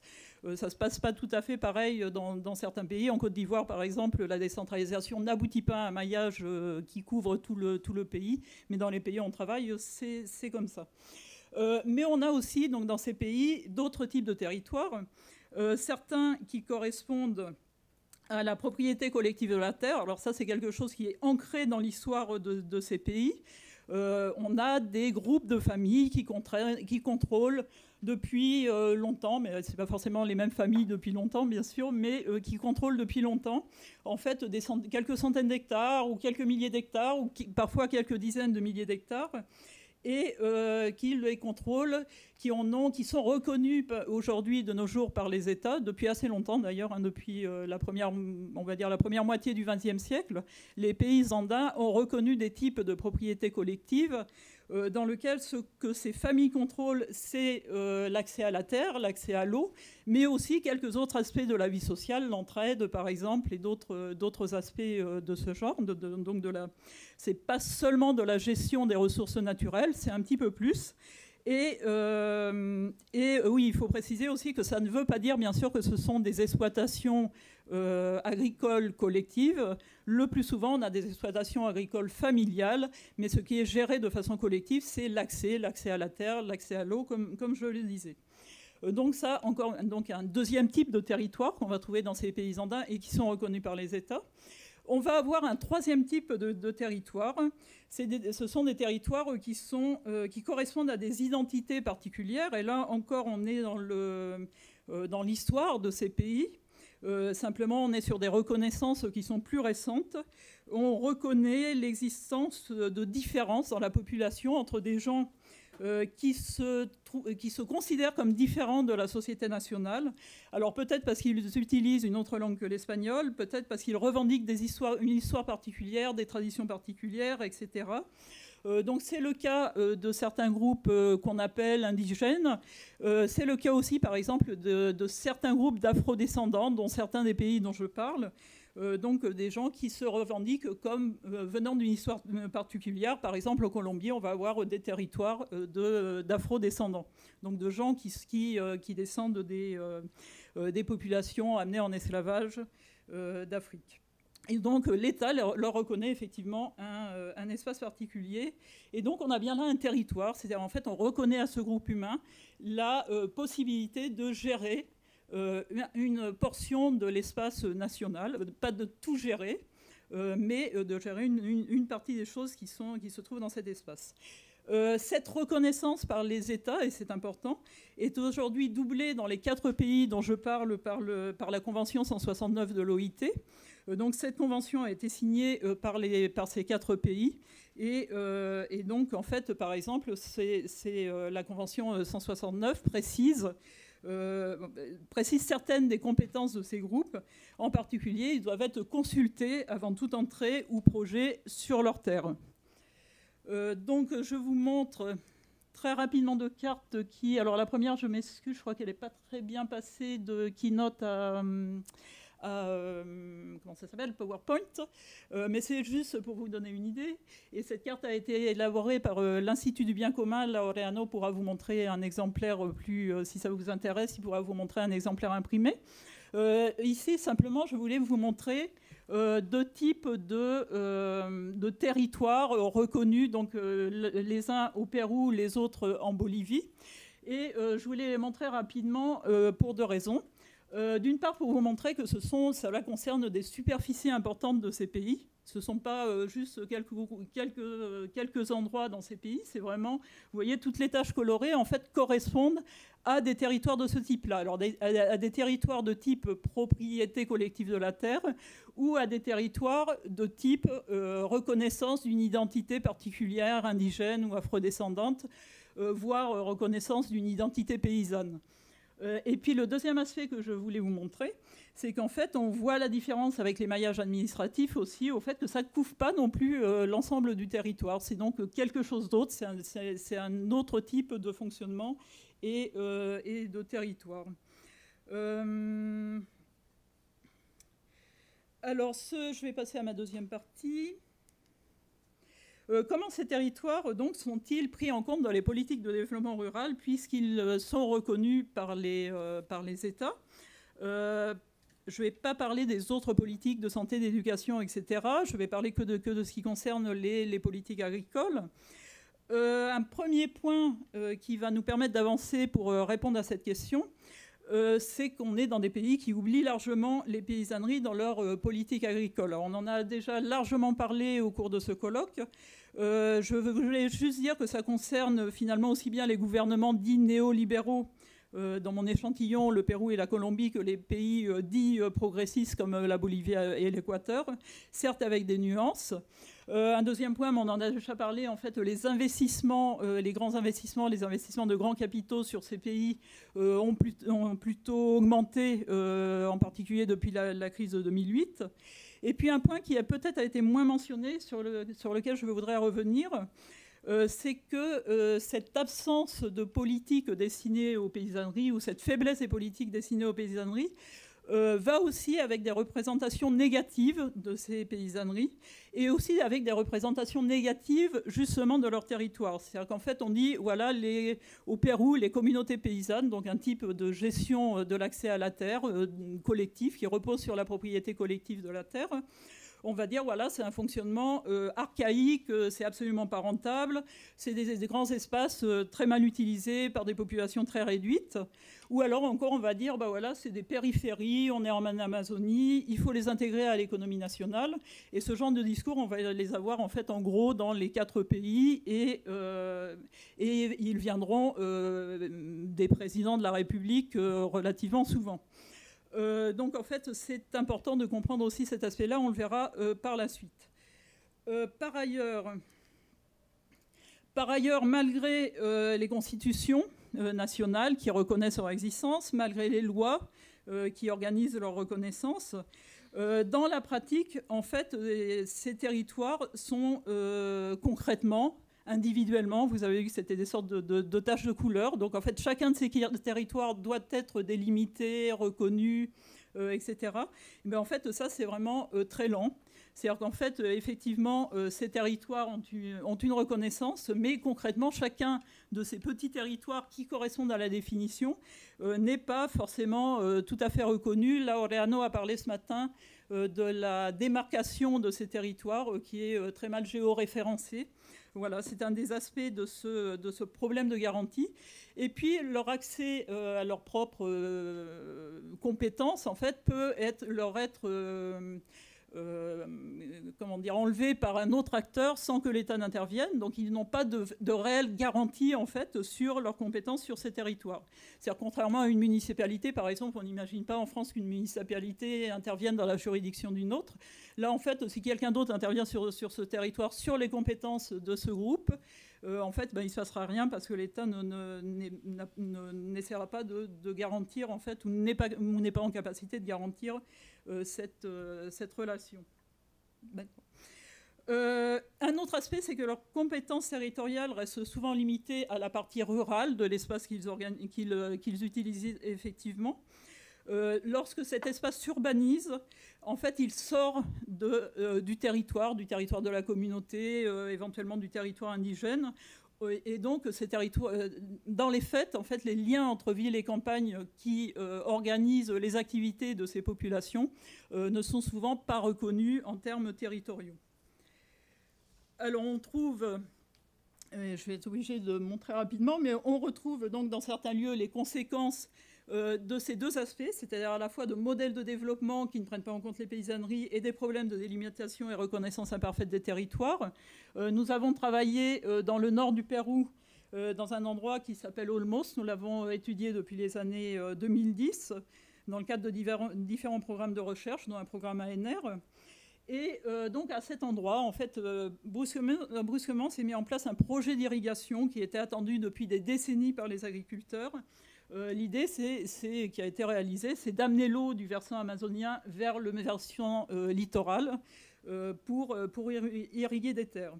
Mais que s'est-il passé? En fait, la communauté paysanne Santo Domingo de Olmos, en fait, n'avait pas réussi à faire reconnaître totalement son territoire parce qu'elle a des conflits de limites avec les communautés voisines. C'est ce que vous voyez en rouge.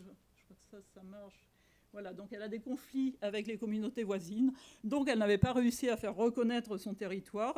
Et finalement, euh, sous Alberto Fujimori, en fait, le territoire, en fait, elle a 100 euh, 000 hectares de cette communauté lui ont été prises par l'État qui a dit ben non, c'est pas une communauté euh, vraiment reconnue, elle n'a pas vraiment de territoire.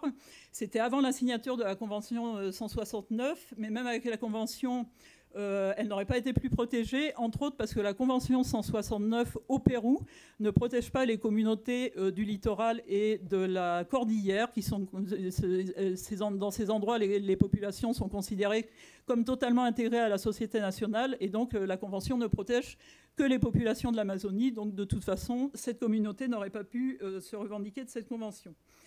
ce projet en fait était destiné à irriguer pas de problème. Euh, donc, à apporter l'irrigation pour les populations paysannes qui travaillent dans ces vallées-là, donc dans des vallées qui sont déjà cultivées. Mais en fait, ce qui s'est fait finalement, c'est un gros projet d'irrigation avec des lots vendus entre, sur la base de 500 à 1000 ou 2000 hectares, donc que vous voyez ici. Euh, en dehors des terres cultivées par, la population de la communauté. Et en plus, l'agro-industrie qui s'est installée là, on a parlé ce matin de Gloria. Gloria est un des principaux euh, propriétaires maintenant de, ces lots qui ont été distribués sur euh, la base d'un partenariat public-privé entre l'État et l'entreprise Odebrecht, fameuse dans les Andes dernièrement.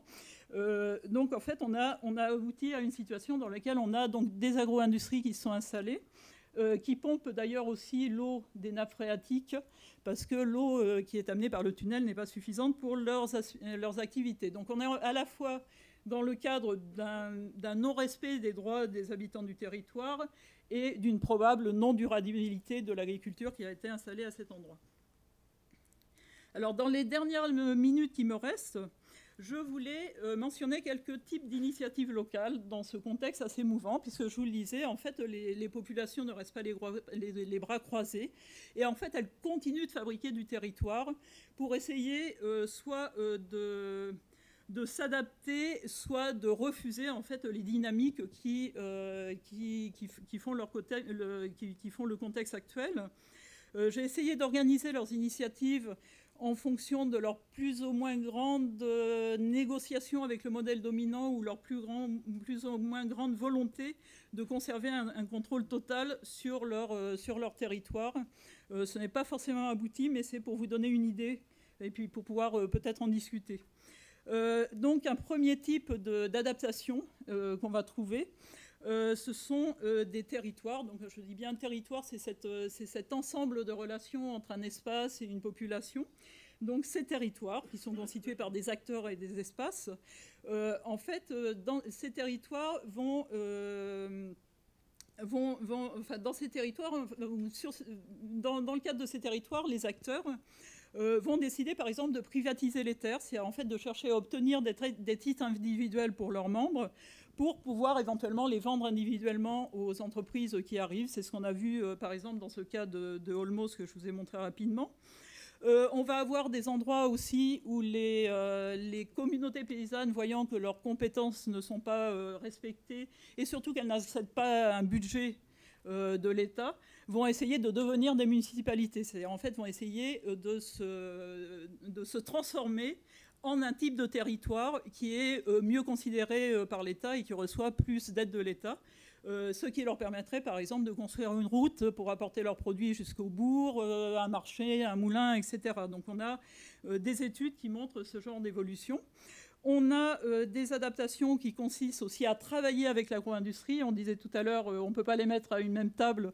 Ben, les gens d'eux-mêmes, en fait, c'est ce qu'ils font. C'est-à-dire qu'en fait, ils disent, bon, il y a l'agro-industrie, on va essayer de produire des mangues et puis essayer de la les vendre à l'agro-industrie. Bon, c'est des choses qu'on a eu l'occasion d'étudier au Pérou, mais euh, qu'on voit aussi en Bolivie et en d'autres endroits très certainement.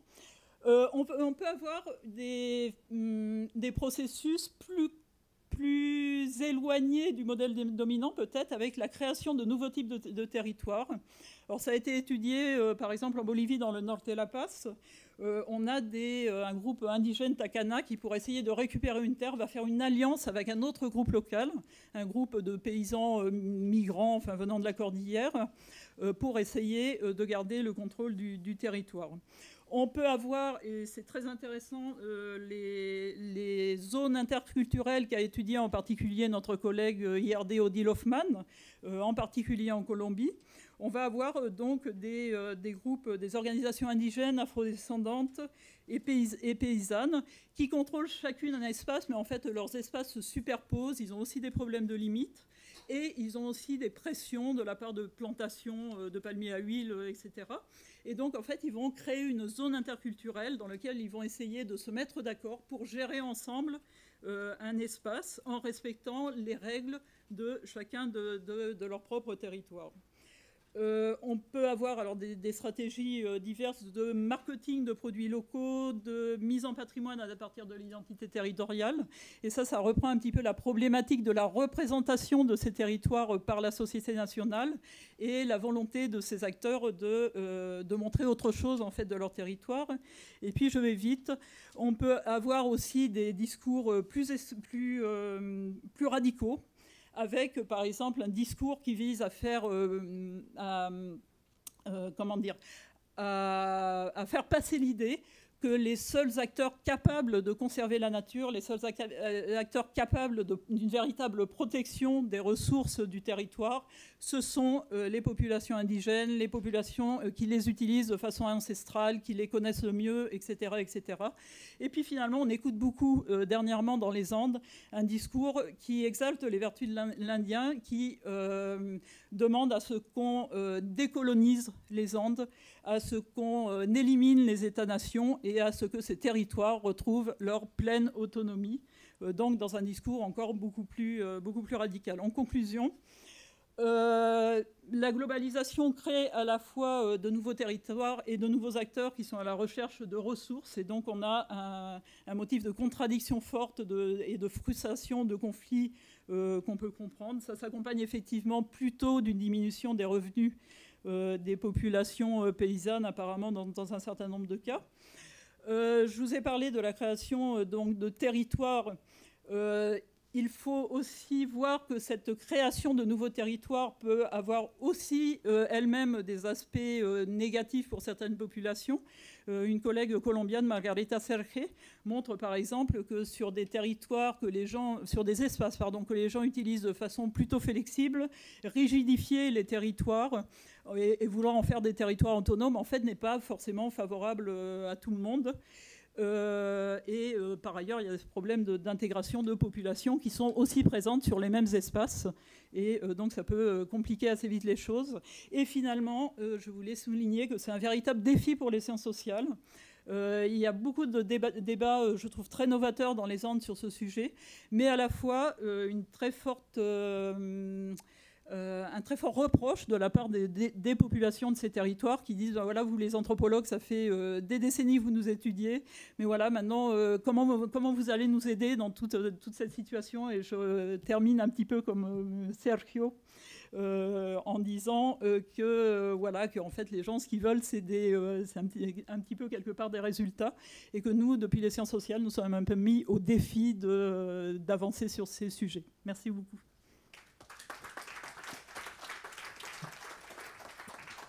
Merci beaucoup, Evelyne. on a parcouru un peu la complexité du mot territoire. On va continuer maintenant avec euh, Monique Poulot, qui est professeure de géographie de l'Université de Paris-Nanterre. Les, exemples que vous avez présentés de, les Andes, c'est vraiment très intéressant. Et aussi les, implications, ça dépend de la situation administrative, politique, etc.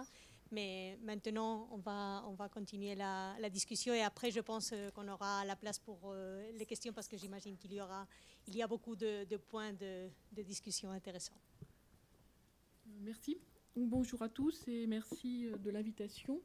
on va revenir sur le cas français et un peu européen, puisque quand on parle de la France, on est quand même obligé aujourd'hui de, parler de l'Europe. Euh, ce qui a été dit en introduction par Maria puis par Héloïse va me permettre d'aller plus vite sur un certain nombre de sujets. Euh, et en même temps, je crois qu'il a été dit beaucoup de choses sur le territoire, donc je vais essayer de faire des liens. Donc je m'éloignerai un petit peu de mon PowerPoint euh, de temps en temps. Donc c'est vrai que qu'est-ce que c'est qu'une politique de développement rural? Je reprendrai la question que posait ce matin Sébastien Velu, qu'est-ce que le rural? Euh, et c'est vrai qu'en France, c'est un problème quand la nomenclature officielle de la France a supprimé le rural euh, des statistiques. Bon, il n'empêche qu'on a bien du rural et que notamment si on prend la fameuse grille communale qui est liée euh, à la nomenclature européenne, on voit que tout ce qui est du vert est du rural. Donc c'est vrai que ce n'est pas évident, puisque dans un cas, on aura 5 millions d'habitants, dans l'autre cas, on en aura 30 millions, il est évident que les politiques de développement rural, dans ce cas, n'ont pas grand-chose à voir. Donc je crois que c'était un des éléments sur lesquels je voulais revenir en premier pour montrer combien il est difficile de parler d'une territorialisation quand on est à la recherche de l'espace pour arriver à faire une politique. Euh, je voudrais également euh, avoir euh, quelques remarques préliminaires sur la notion de territoire. je ne vais pas revenir sur ce qui a été dit par mes deux prédécesseurs, mais c'est vrai que la notion de territoire en France est sans aucun doute assez différente de celle de l'Amérique latine. J'ai envie de dire qu'au contraire, c'est une notion qui a été très très largement utilisée. Euh, presque trop aujourd'hui. On a plutôt tendance à dire aussi euh, le territoire est mort, euh, parce qu'à la limite, on l'utilise tellement qu'on ne sait plus qu'est-ce qu'il y a derrière ce mot de territoire. Donc c'est vrai qu'on est là dans des logiques différentes. Et puis, je répondrai également à la question de disciplinaire. En France, les géographes utilisent énormément le territoire. Je crois qu'on est au contraire très attaché à cette notion. Euh, mais on ne peut justement constater aujourd'hui que tout le monde parle de territoire et qu'en fait, on ne sait pas de quel territoire on parle. Donc je vais avoir euh, quelques éléments de réflexion euh, assez rapidement. Je voudrais aussi avoir une réflexion un peu diachronique. ça a été fait en partie, mais je trouvais que c'était intéressant. une réflexion diachronique, bon, j'ai évoqué là comment le territoire était devenu une préoccupation, mais je dirais également que le terme de développement euh, en France est un terme assez récent. Euh, on n'employait pas le terme de développement pour parler de, des espaces ruraux français, on employait plutôt le terme d'aménagement. Et je pense que ces glissements de vocabulaire sont assez intéressants. Euh, bon, le terme de développement n'est guère apparu que dans les années 90, sans doute dans le sillage de ce que l'on voyait au sud et en Europe. Donc c'est vrai que c'est une réflexion qui appelle, mais je vais faire très vite, à mettre en lien des lois, je crois qu'on en a beaucoup parlé avec l'Europe, des organismes, des lieux, des acteurs. Euh, elle est amenée à plusieurs échelles.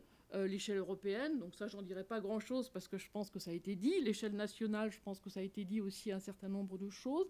Et l'échelle régionale qui aujourd'hui est très importante puisque c'est elle notamment qui applique euh, la politique européenne. Pour moi, cette territorialisation des politiques publiques, c'est aussi un moyen de suivre les évolutions de l'aménagement à la française, comme on l'a appelé, euh, avec euh, l'égalité des territoires ou l'équité des territoires, ce qui n'est pas tout à fait la même chose, et je pense qu'on est plutôt aujourd'hui dans une équité des territoires. Et puis, ce serait à mettre en lien avec ce que j'appelle euh, les différentes représentations du rural. le rural qui a longtemps été considéré comme un rural à développer, qui reste considéré comme un rural à développer, mais qui est aussi un rural très désiré et un rural euh, sur lequel tout le monde a quelque chose à dire, les urbains. Euh, je pense qu'on en a parlé tout à l'heure, et grosso modo euh, toutes les populations. Donc on voit bien que cette, question du territoire rural est devenue une question centrale qui n'est pas facile à, à régler. J'ai envie de dire aussi que l'aspect diachronique que je voulais un tout petit peu évoquer avec vous, c'est euh, une approche des différents modèles de développement. Euh, on les a évoqués, hein, et je pense que ça a été fait très bien avant moi, je n'y reviendrai pas, mais on est bien sans cesse dans des alternances entre développement sectoriel, développement territorial et ce que j'appelle aujourd'hui développement local. Le terme de développement local s'étant d'ailleurs imposé en France, peut-être plus que le terme de développement territorial. On est aussi toujours dans une hésitation entre développement exogène, on a eu longtemps un développement très exogène en France euh, lié à la puissance publique. Aujourd'hui, on est plutôt dans des tendances à avoir un développement endogène.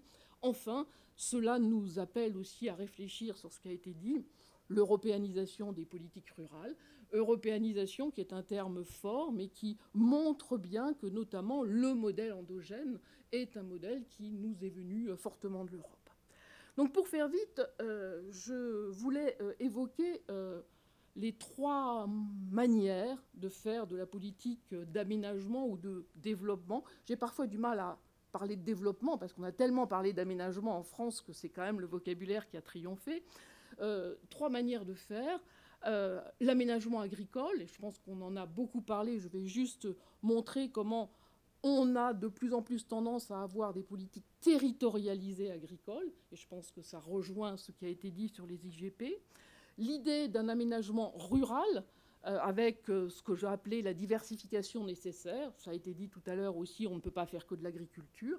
Et puis aujourd'hui, ce que l'on appelle la territorialisation des politiques avec le développement local, en sachant que dans ce cadre, on n'a jamais autant créé de territoires, euh, ces territoires étant de taille variable, minuscules, euh, un peu plus grands, et c'est bien un petit peu le problème, où est le territoire et quel est le territoire que l'on veut euh, développer. Donc, si je prends le cas de ce que j'ai appelé l'aménagement agricole, je vais aller très vite. Euh, le développement agricole a occupé pendant très longtemps euh, les politiques rurales, si je puis dire, grosso modo jusque dans les années 90, hein, je, vais très vite. Et à l'époque, on était sur des territoires, euh, d'ailleurs on ne parlait pas de territoire, on parlait d'espace, euh, et bon, j'en donnerai par exemple un, c'est le cas euh, des grands aménagements comme le canal euh, de Provence, où on est véritablement sur tout le bassin méditerranéen, et donc on ne parle d'ailleurs pas de territoire, hein, je le répète, on parle d'espace, on est dans le développement de, de, cet espace-là. je passe là-dessus parce que je vais un peu plus vite. Aujourd'hui, on est très clairement dans des politiques agricoles que l'on souhaite territorialiser. C'est le mot que l'on emploie. Et je donnerai trois exemples de ces territorialisations. Euh, la première, c'est euh, ce qui est lié euh, au verdissement des politiques agricoles, même si le mot peut faire sourire, avec notamment ce que l'on a appelé les mesures agro-environnementales mesures agro-environnementales qui datent de 89, qui se sont euh, surtout développées à partir de 92. On emploie aujourd'hui en France ce que l'on appelle les mesures agro-environnementales territorialisées. Le terme de territorialisé est fort. Et vous avez ici l'exemple euh, de ces mesures agro-environnementales territorialisées en Bretagne. On voit que ce sont des territoires plus ou moins importants. Euh, parfois d'ailleurs avec des logiques de géographie presque physique, puisqu'on est sur un bassin versant, euh, pas forcément des logiques de géographie euh, de collectivité ou de communauté. Donc on voit là le sens de territoire que l'on va donner, qui est lié en effet euh, au problème des pesticides notamment et des pollutions liées à, l'emploi de, de tous ces adjuvants en agriculture. Deuxième forme de territorialisation, je n'en dirai pas grand-chose puisque euh, Héloïse en a parlé euh, très longuement, territorialisation qui est liée à nos fameuses IGP ou AOP ou AOC, si je reprends le vocabulaire à la française. Bon, vous avez ici une carte des AOP françaises. Vous voyez que malgré tout, une grande partie du territoire est touchée, avec, je pense que ça a été très clair dans, l'exposé de tout à l'heure, des territoires certains tout petits, euh, l'oignon doux, et puis des territoires beaucoup plus grands, euh, le comté. On voit bien là encore que l'on euh, jongle avec la notion des territoires. Troisième élément, c'est ce que j'appellerais aujourd'hui l'introduction de l'alimentation ou le lien à l'alimentation avec l'agriculture. On en a déjà parlé, on a parlé notamment des ciales, on a parlé des systèmes alimentaires, on rejoint cela. En France, on a quelque chose qui a été inventé euh, depuis les années 2010, euh, euh, qui sont les plans alimentaires territoriaux. Plans alimentaires territoriaux, à nouveau le mot territoire. La France a voté un plan national de l'alimentation en 2011, plan qui est désormais appliqué aux différents niveaux, régions, territoires, etc. J'en ai pris un ici. On est sur le pays de Vichy-Val d'Allier. Je reviendrai tout à l'heure à la notion de pays. On est donc là sur à peu près 7-8 euh, communes, euh, avec Vichy, la ville-centre, et puis euh, les communes rurales aux alentours, communes agricoles. Et donc on a un plan alimentaire territorialisé. L'idée étant bien sûr de rapprocher les producteurs, les transformateurs, les distributeurs, les consommateurs, etc. Donc on voit bien comment ces différents territoires existent, sont apparus au niveau de l'agriculture. Je donnerai un dernier exemple, ce que j'appelle les territoires agri-urbains en Ile-de-France. Donc vous avez au milieu euh, la métropole francilienne et puis euh, ces euh, patates assurées représentent ce qu'on appelle aujourd'hui les territoires agri-urbains. Ces territoires agri-urbains étant les zones où il faut absolument que l'on ne construise plus pour conserver en quelque sorte l'agriculture et nourrir la métropole. Donc on voit bien cette notion de territoire, d'ailleurs ici on a tracé des territoires qui n'ont pas véritablement de limites. Hein. Euh, donc on est bien dans une territorialisation, mais une territorialisation qui cherche euh, parfois à, se géographiser, si je peux employer ce terme. La deuxième manière de faire de l'aménagement, ça a été bien sûr de diversifier et de compenser les handicaps, puisque la grande idée, et je pense que Maria euh, l'a évoqué en introduction, c'est clair que ces espaces ruraux ont des handicaps, des handicaps en termes de services, des handicaps en termes d'emploi, et donc il y a eu une diversification nécessaire. Là encore, on a une politique euh, multiple en France. Euh, je vais passer très très vite. Une politique qui a la plupart du temps été aussi régionale. J'ai pris ici deux exemples, le Languedoc-Roussillon et les Alpes. On est dans une territorialisation à un autre niveau. Hein. On est véritablement dans la région et même un littoral, on pourrait faire vite, et une montagne pour, pour être rapide. Donc ça a été jusque dans les années 90, une manière de faire, là aussi. Et on est passé aujourd'hui vers euh, quelque chose peut-être d'un petit peu différent, même si c'est une politique qui se lit dans la durée, au niveau de la politique française, l'aménagement de ce que l'on appelle les espaces ruraux fragiles. Le terme est très fort, euh, il, perdure depuis pratiquement 50 ans, euh, et on est toujours dans cette idée d'espaces ruraux fragiles, ce qui montre bien les, faiblesses hein, éventuelles de ces espaces. Donc ici, deux cartes qui montrent l'extension ou les territoires euh, de euh, cette euh, politique des espaces ruraux fragiles. Vous avez en vert ce que l'on appelle les zones de revitalisation rurale. Vous constatez d'ailleurs qu'ici, on emploie le terme de zone et non pas du territoire, hein, et je crois que le vocabulaire n'est pas neutre. Et puis de l'autre côté, vous avez les zones de montagne, et là encore, on a un bel exemple en quelque sorte de, de, vocabulaire qui, montre bien euh, les, manières de faire de l'aménagement. Je voudrais conclure sur ce que j'ai appelé aujourd'hui le temps du développement local, euh, en sachant que euh, dans ce que je viens de dire, il y a déjà des éléments du développement local, mais c'est vrai qu'aujourd'hui, c'est devenu le maître mot en France, développement local. Nouveau modèle de développement que je qualifierais donc de territorial, malgré tout, si je reprends le vocabulaire qu'on a employé jusqu'alors, puisque l'on est bien dans une spécification d'une ressource territoriale. Cette spécification d'une ressource va donner lieu à, une dynamique de proximité et de coordination d'acteurs, et c'est ce mécanisme qui va enclencher de la construction territoriale et du développement local. On est là euh, dans une lecture à la Péqueur hein, que, vous avez cité tout à l'heure. On retrouve là euh, un certain nombre de ces éléments et on est bien dans ce que l'on appelle ces projets territorialisés. Projets territorialisés qui, euh, si je reprends le vocabulaire, sont localisés et territorialisés puisqu'ils sont attachés à un lieu, une ressource, elle est à un lieu précis, les acteurs sont à ce lieu précis et ils vont se coordonner dans une démarche multiple, euh, public-privé, euh, acteurs euh, multiples de la société civile. ces territoires nouveaux du développement local sont multiples en France et c'est là où peut-être on a l'impression de trop de territoires, comme je l'évoquais tout à l'heure. Ces, premiers territoires, ces territoires j'ai d'abord qualifié ceux qui avaient été créés dans la politique française. Euh, ceux qui ont été créés dans la politique française, on parle de territoire de projet.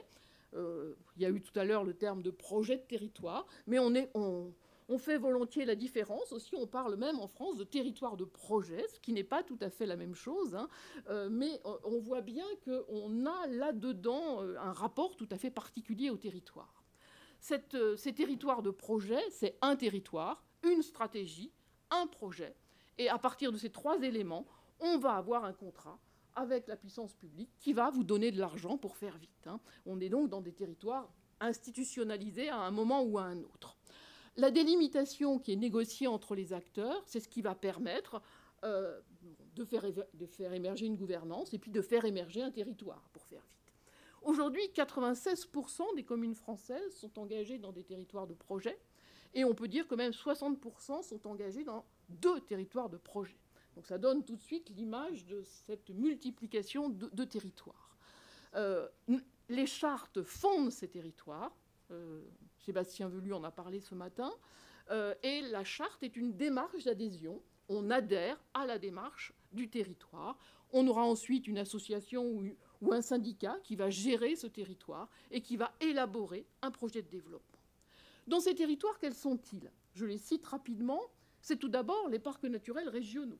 qui sont au final des territoires de projet.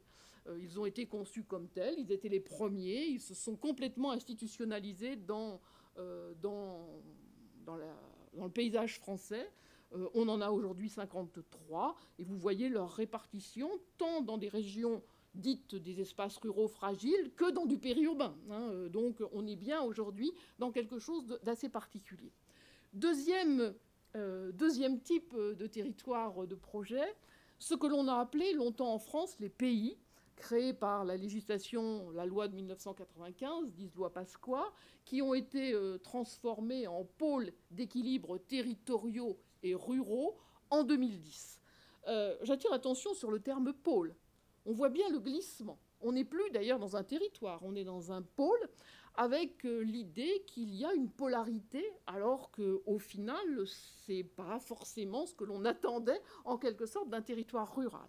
Bon, je, ne vais pas plus loin dans, cette analyse. Vous voyez aujourd'hui la carte qui montre l'importance de l'espace engagé dans ces fameux PETR, comme on les appelle, et qui euh, montre ce, surplus, enfin, ou tout du moins ce foisonnement de territoire. Euh, j'en ai pris un ici en exemple. Euh, on est en Lorraine, euh, c'est une vieille région industrielle en crise, et aujourd'hui, toute la politique du PETR, c'est le développement des services à la mobilité, le développement d'une politique touristique. Enfin, on retrouve ce qui a été dit par ailleurs, assez classique. Enfin, le dernier élément de ces politiques territoriales à la française, c'est ce qu'on appelle les pôles d'excellence rurale. Je pourrais faire le même commentaire sur la terminologie, pôle, donc je ne vais pas plus loin.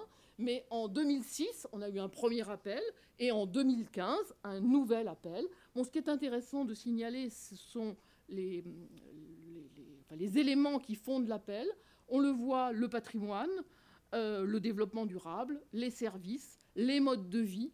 Euh, on rejoint euh, les fameuses orientations qu'on signalait tout à l'heure sur l'Europe. Vous avez un cas ici qui est la Corrèze, département rural s'il en est, et vous voyez là aussi combien ces territoires de projet, ces pôles d'excellence, euh, sont à géométrie variable, puisqu'ils peuvent parfois couvrir deux communes, euh, parfois on va avoir la moitié du département. On est véritablement dans euh, quelque chose d'assez particulier.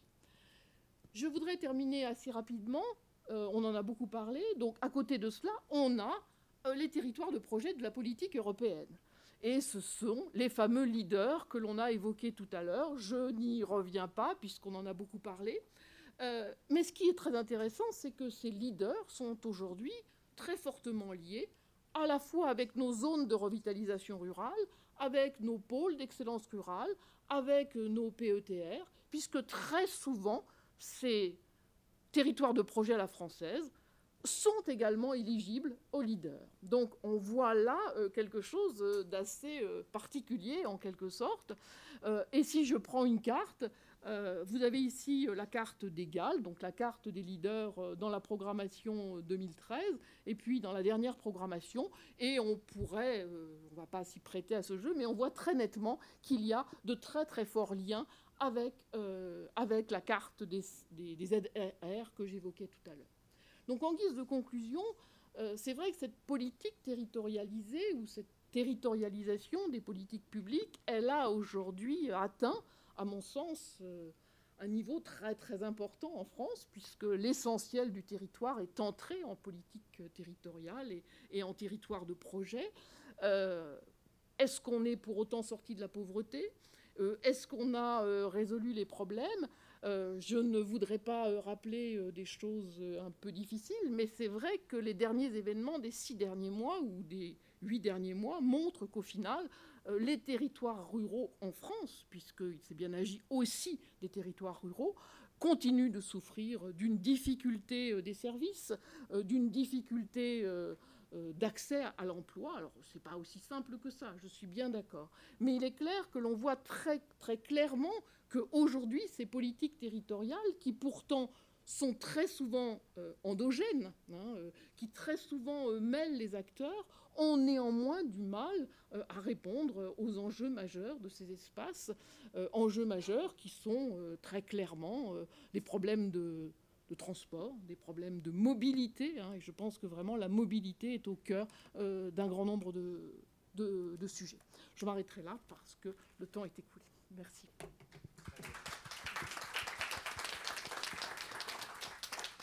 Merci beaucoup, Monique. Euh, vraiment très intéressant. On a, on a rentré de plein dans la politique d'aménagement du territoire ou de développement local, ou je ne sais pas comment, comment l'appeler de la France, mais en France, vous avez effectivement une très longue tradition mm, dans l'Europe, euh, dans le contexte de l'aménagement du territoire.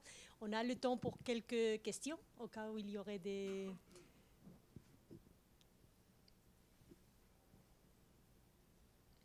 Sinon, j'ai une, petite question. Vous avez mentionné tous ces outils qu'on a dans la politique de développement, mais après vous avez dit que quand même, euh, il, semble que euh, les devoirs ne sont pas accomplis, qu'il reste encore beaucoup de choses à faire. Alors, euh, qu'est-ce qu'on pourrait faire dans, dans le futur? Qu'est-ce qu'on pourrait faire dans le futur pour améliorer la situation? Question difficile. Hein Je crois que si on savait comment on pouvait améliorer. bon, enfin une première réponse serait que euh, ces, territoires, à mon sens, euh, euh, il conviendrait véritablement de se poser la question de comment on les formalise. et notamment, en France, il me paraît très compliqué que l'on ait une, telle différence entre les territoires dits urbains et les territoires ruraux. Aujourd'hui, il est clair que pour arriver à une politique de développement des territoires, euh, on ne peut pas exclure la ville du territoire rural.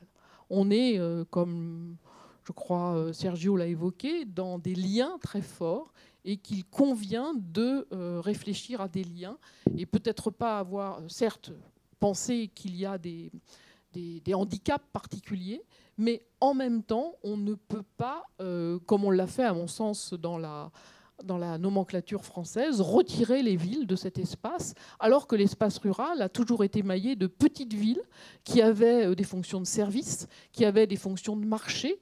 Euh, aujourd'hui, on dit c'est de l'urbain, donc ces petites villes n'ont pas accès aux politiques rurales. Euh, ce qui n'est pas sans poser problème. Bon, je prendrai juste un exemple. Euh, pour avoir travaillé euh, il y a peu de temps sur des petites villes rurales, on constate que les valeurs mobilières dans les petites villes rurales ont été, les valeurs des appartements, des maisons, ont été divisées par 20, 30, 40, enfin, etc. Que des maisons qui valaient je parlais en euros, 200 000 euros il y a 10 ans n'en valent plus que 30 000. Je pense que pour les populations locales, euh, c'est véritablement, oui, un, problème. Euh, et là, euh, il y a des questions très fortes à poser que je n'ai pas résolues. Hein. Monique, j'adore votre. I, I loved your, your, your, your, your presentation. I guess is a it's a very interesting way to show how different scales of territory can work in terms of um, uh, of the for, for the planning and, and policies. My two very uh, small questions are first, uh, do the other European countries understand this methodology? Do they work with them, especially uh, the the new the income the new incomers countries? Do they also are able to to manage to work with this methodology first? And second do you think it's possible to transfer this this uh, this uh, this territorial approach from France to other countries for instance to Latin America or or other countries? An easy question. On me gâte dans les questions aujourd'hui. euh, alors, il, il, est clair que la, euh, bon, euh, je crois que Maria le disait tout à l'heure, euh, l'aménagement est un sport national en France, ce qui n'est sans doute pas le cas dans un grand nombre de pays européens. Je pense qu'il serait intéressant, on a travaillé là-dessus, mais je crois que ce serait intéressant de continuer à travailler là-dessus. Qu'est-ce qui a été transféré de la France à l'Europe et vice-versa hein, bon. Par contre, je trouve ça très intéressant que ce qu'on appelle l'européanisation des pratiques a permis de développer des GAL, par exemple, ces fameux groupes d'action euh, locaux, euh, qui sont en effet des manières de faire différemment de la politique. Après, le clientélisme existe, euh, on est bien d'accord, ça n'a pas empêché ce genre de choses. Mais je, pense qu'en effet, pour le moment, notre lecture nationale, enfin, notre manière de faire nationale doit être assez difficilement audible dans le reste de l'Europe. Euh, je pense qu'on est malgré tout assez euh, particulier. J'aime beaucoup la formule qu'employait euh, un, Wetscher en disant que l'aménagement rural était l'enfant chéri de la France. Et c'est vrai que pendant longtemps, l'aménagement rural a été l'enfant chéri de la France avec des millefeuilles, comme on l'appelle, tout à fait particuliers. par contre, il y a, euh, je pense, euh, au niveau des, experts, des chercheurs, une connaissance très intime de ce terrain. Et ça, il y a des éléments qui pourraient être intéressants à transférer euh, dans d'autres pays.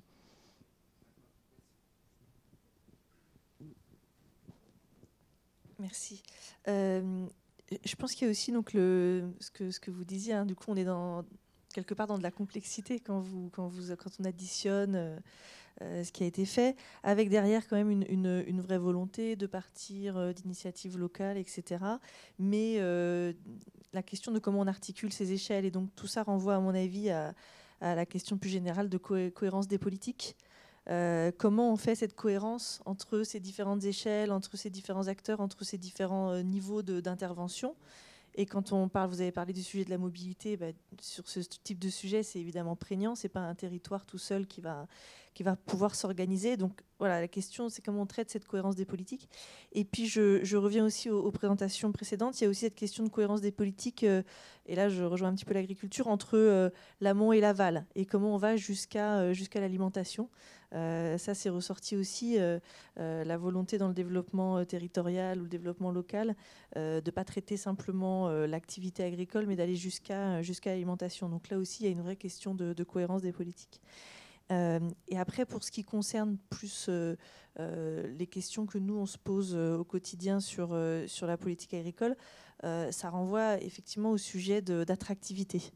on voit en France, en Europe, une vraie difficulté à renouveler les générations d'agriculteurs. Et donc, ça renvoie à l'attractivité et donc à tout ce que vous avez dit aussi sur, euh, sur les territoires ruraux, la façon dont on vit dans les territoires ruraux, le lien aux petites villes, euh, ça c'est essentiel. Euh, et, là, je, vous avez raison sur l'importance de tout ça et ça impacte de fait notre production agricole potentielle euh, et, ensuite, euh, toutes les questions derrière de sécurité alimentaire, etc., etc., d'approvisionnement des grandes villes, euh, des métropoles, etc. Donc ce sujet attractivité, en fait, il est, je ne sais pas si on cherche, c'est ce qu'on disait, est-ce que ça veut dire quoi le développement, comment on calcule le développement, mais il y a une question en tout cas derrière d'attractivité, de, présence d'activité humaine et économique sur, sur ces territoires, et en premier lieu l'activité agricole, qui de toute façon restera une activité des territoires, des territoires territoires ruraux. Et alors j'avais une question aussi sur, euh, on n'en a pas, pas beaucoup parlé, sur euh, euh, ce qu'on entend souvent comme la révolution numérique qui va changer, qui va changer la donne sur ces territoires, qui va permettre justement de renforcer l'attractivité. Est-ce que ça, c'est quelque chose que vous avez déjà analysé et sur lequel vous avez des éléments de réponse?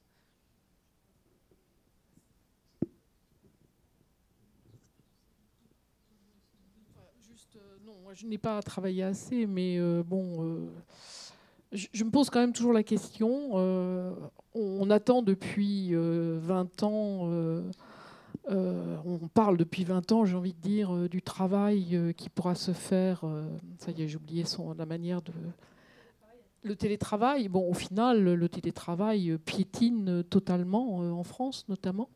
Euh, je pense que là-dessus, on a vraiment de, grosses difficultés. Euh, je pense que l'Angleterre, le Royaume-Uni, là-dessus est très en avance, euh, avec des, manières de fonctionner qui sont différentes.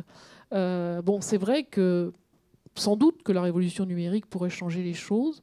les zones grises sont encore très très nombreuses sur ces territoires. Euh, ou blanches, je ne sais pas comment on peut les appeler, euh, mais euh, il n'empêche que c'est un des éléments aussi de la non-attractivité, ça c'est une évidence.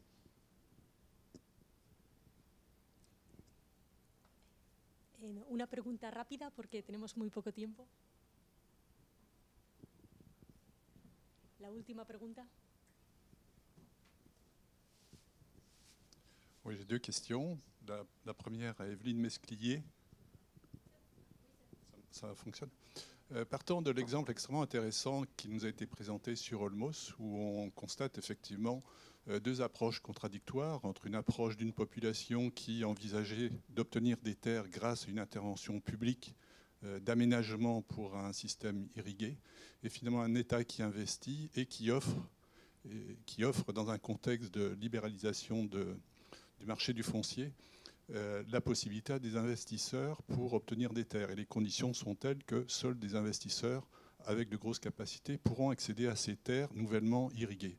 Alors la question que je me pose, effectivement, le risque c'est de, passer à une exclusion de populations rurales, euh, une paupérisation, voire une, euh, des, populations qui deviendraient à nouveau péones de, de sociétés d'exploitation de ces nouvelles terres irriguées? Et là, ma question, c'est de savoir si est-ce que des populations rurales peuvent être en mesure, ou sont en mesure, ou prennent des initiatives pour contourner le système puisque les mouvements sociaux, il y a une situation d'asymétrie de, de, relations, de pouvoir. Donc, est-ce qu'elles sont en mesure ou est-ce qu'elles prennent des initiatives pour se constituer en société, type groupement foncier ou coopérative, pour accéder à des lots de terre du type euh, unité de 500 hectares entre une centaine de petits agriculteurs Ça, c'est ma première question. La deuxième question. Excuse-moi, on, est en train en, retard. Est-ce que vous pourriez discuter après la deuxième question directement avec euh, Evelyne? Et je, je vous passe la parole. Euh, maintenant, en, l'occurrence, ce n'est pas ce qu'on a vu sur cet exemple. Il n'y a pas eu il n'y a pas eu cette capacité, en fait. Alors, je, dans le temps qui est imparti, on aura du mal à en parler, mais en fait, ces, euh, ces grands projets euh, supposent des modifications de la société locale qui vont euh, bien encore au-delà, en fait, de l'empreinte physique du projet sur l'espace et qui modifient énormément les rapports de force entre les différents acteurs et euh, je n'ai pas eu le temps d'en parler, mais également au niveau, de, au niveau régional. Au, au, niveau régional, euh, dans ce genre de projet, ce qu'on a tendance à voir, c'est un enthousiasme euh, de la ville capitale de région euh, qui dit voilà, c'est un grand projet. Euh, alors, un petit peu peut-être comme ces, euh, ces projets que, que, montrait aussi Monique pour les, débuts de, l'aménagement en France. C'est un très grand projet qui va apporter beaucoup de capitaux, qui va donner de l'emploi, 40 000 emplois, 100 000 emplois, etc. Donc, un assez grand enthousiasme au niveau régional. Et puis, au niveau local, en fait, des euh, très vite des conflits internes, des, stratégies qui divergent, des gens qui essaient de, de profiter de l'aubaine et d'autres qui ne euh, se trouvent pas du tout en situation d'en profiter. Et puis, euh, mais ça, serait, il serait compliqué d'expliquer l'ensemble. Et puis, effectivement, sur le phénomène de, création d'un nouveau monde de peones, c'est effectivement ce qui s'est passé.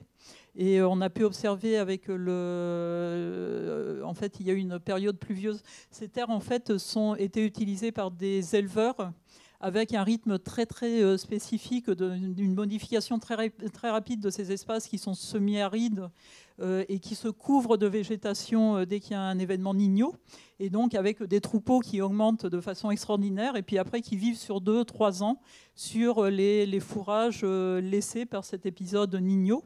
Et ce qu'on a vu lors du dernier épisode Nino, c'est qu'en fait les gens qui normalement auraient dû reconstituer leurs troupeaux euh, sont maintenant employés par euh, les entreprises qui se sont installées. Alors ils ne sont pas employés dans des conditions extraordinaires, ils font des herbages, des choses comme ça.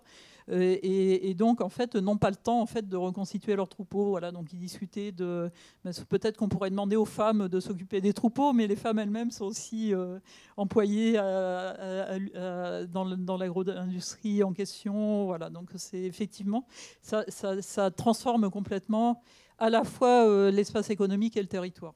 voilà. Muchas gracias. Tenemos que terminar la sesión porque ahora nos llega la, la, conferencia de clausura a cargo de Ángela Peragos, pero me gustaría pedirles que dieran un gran aplauso a los participantes del panel.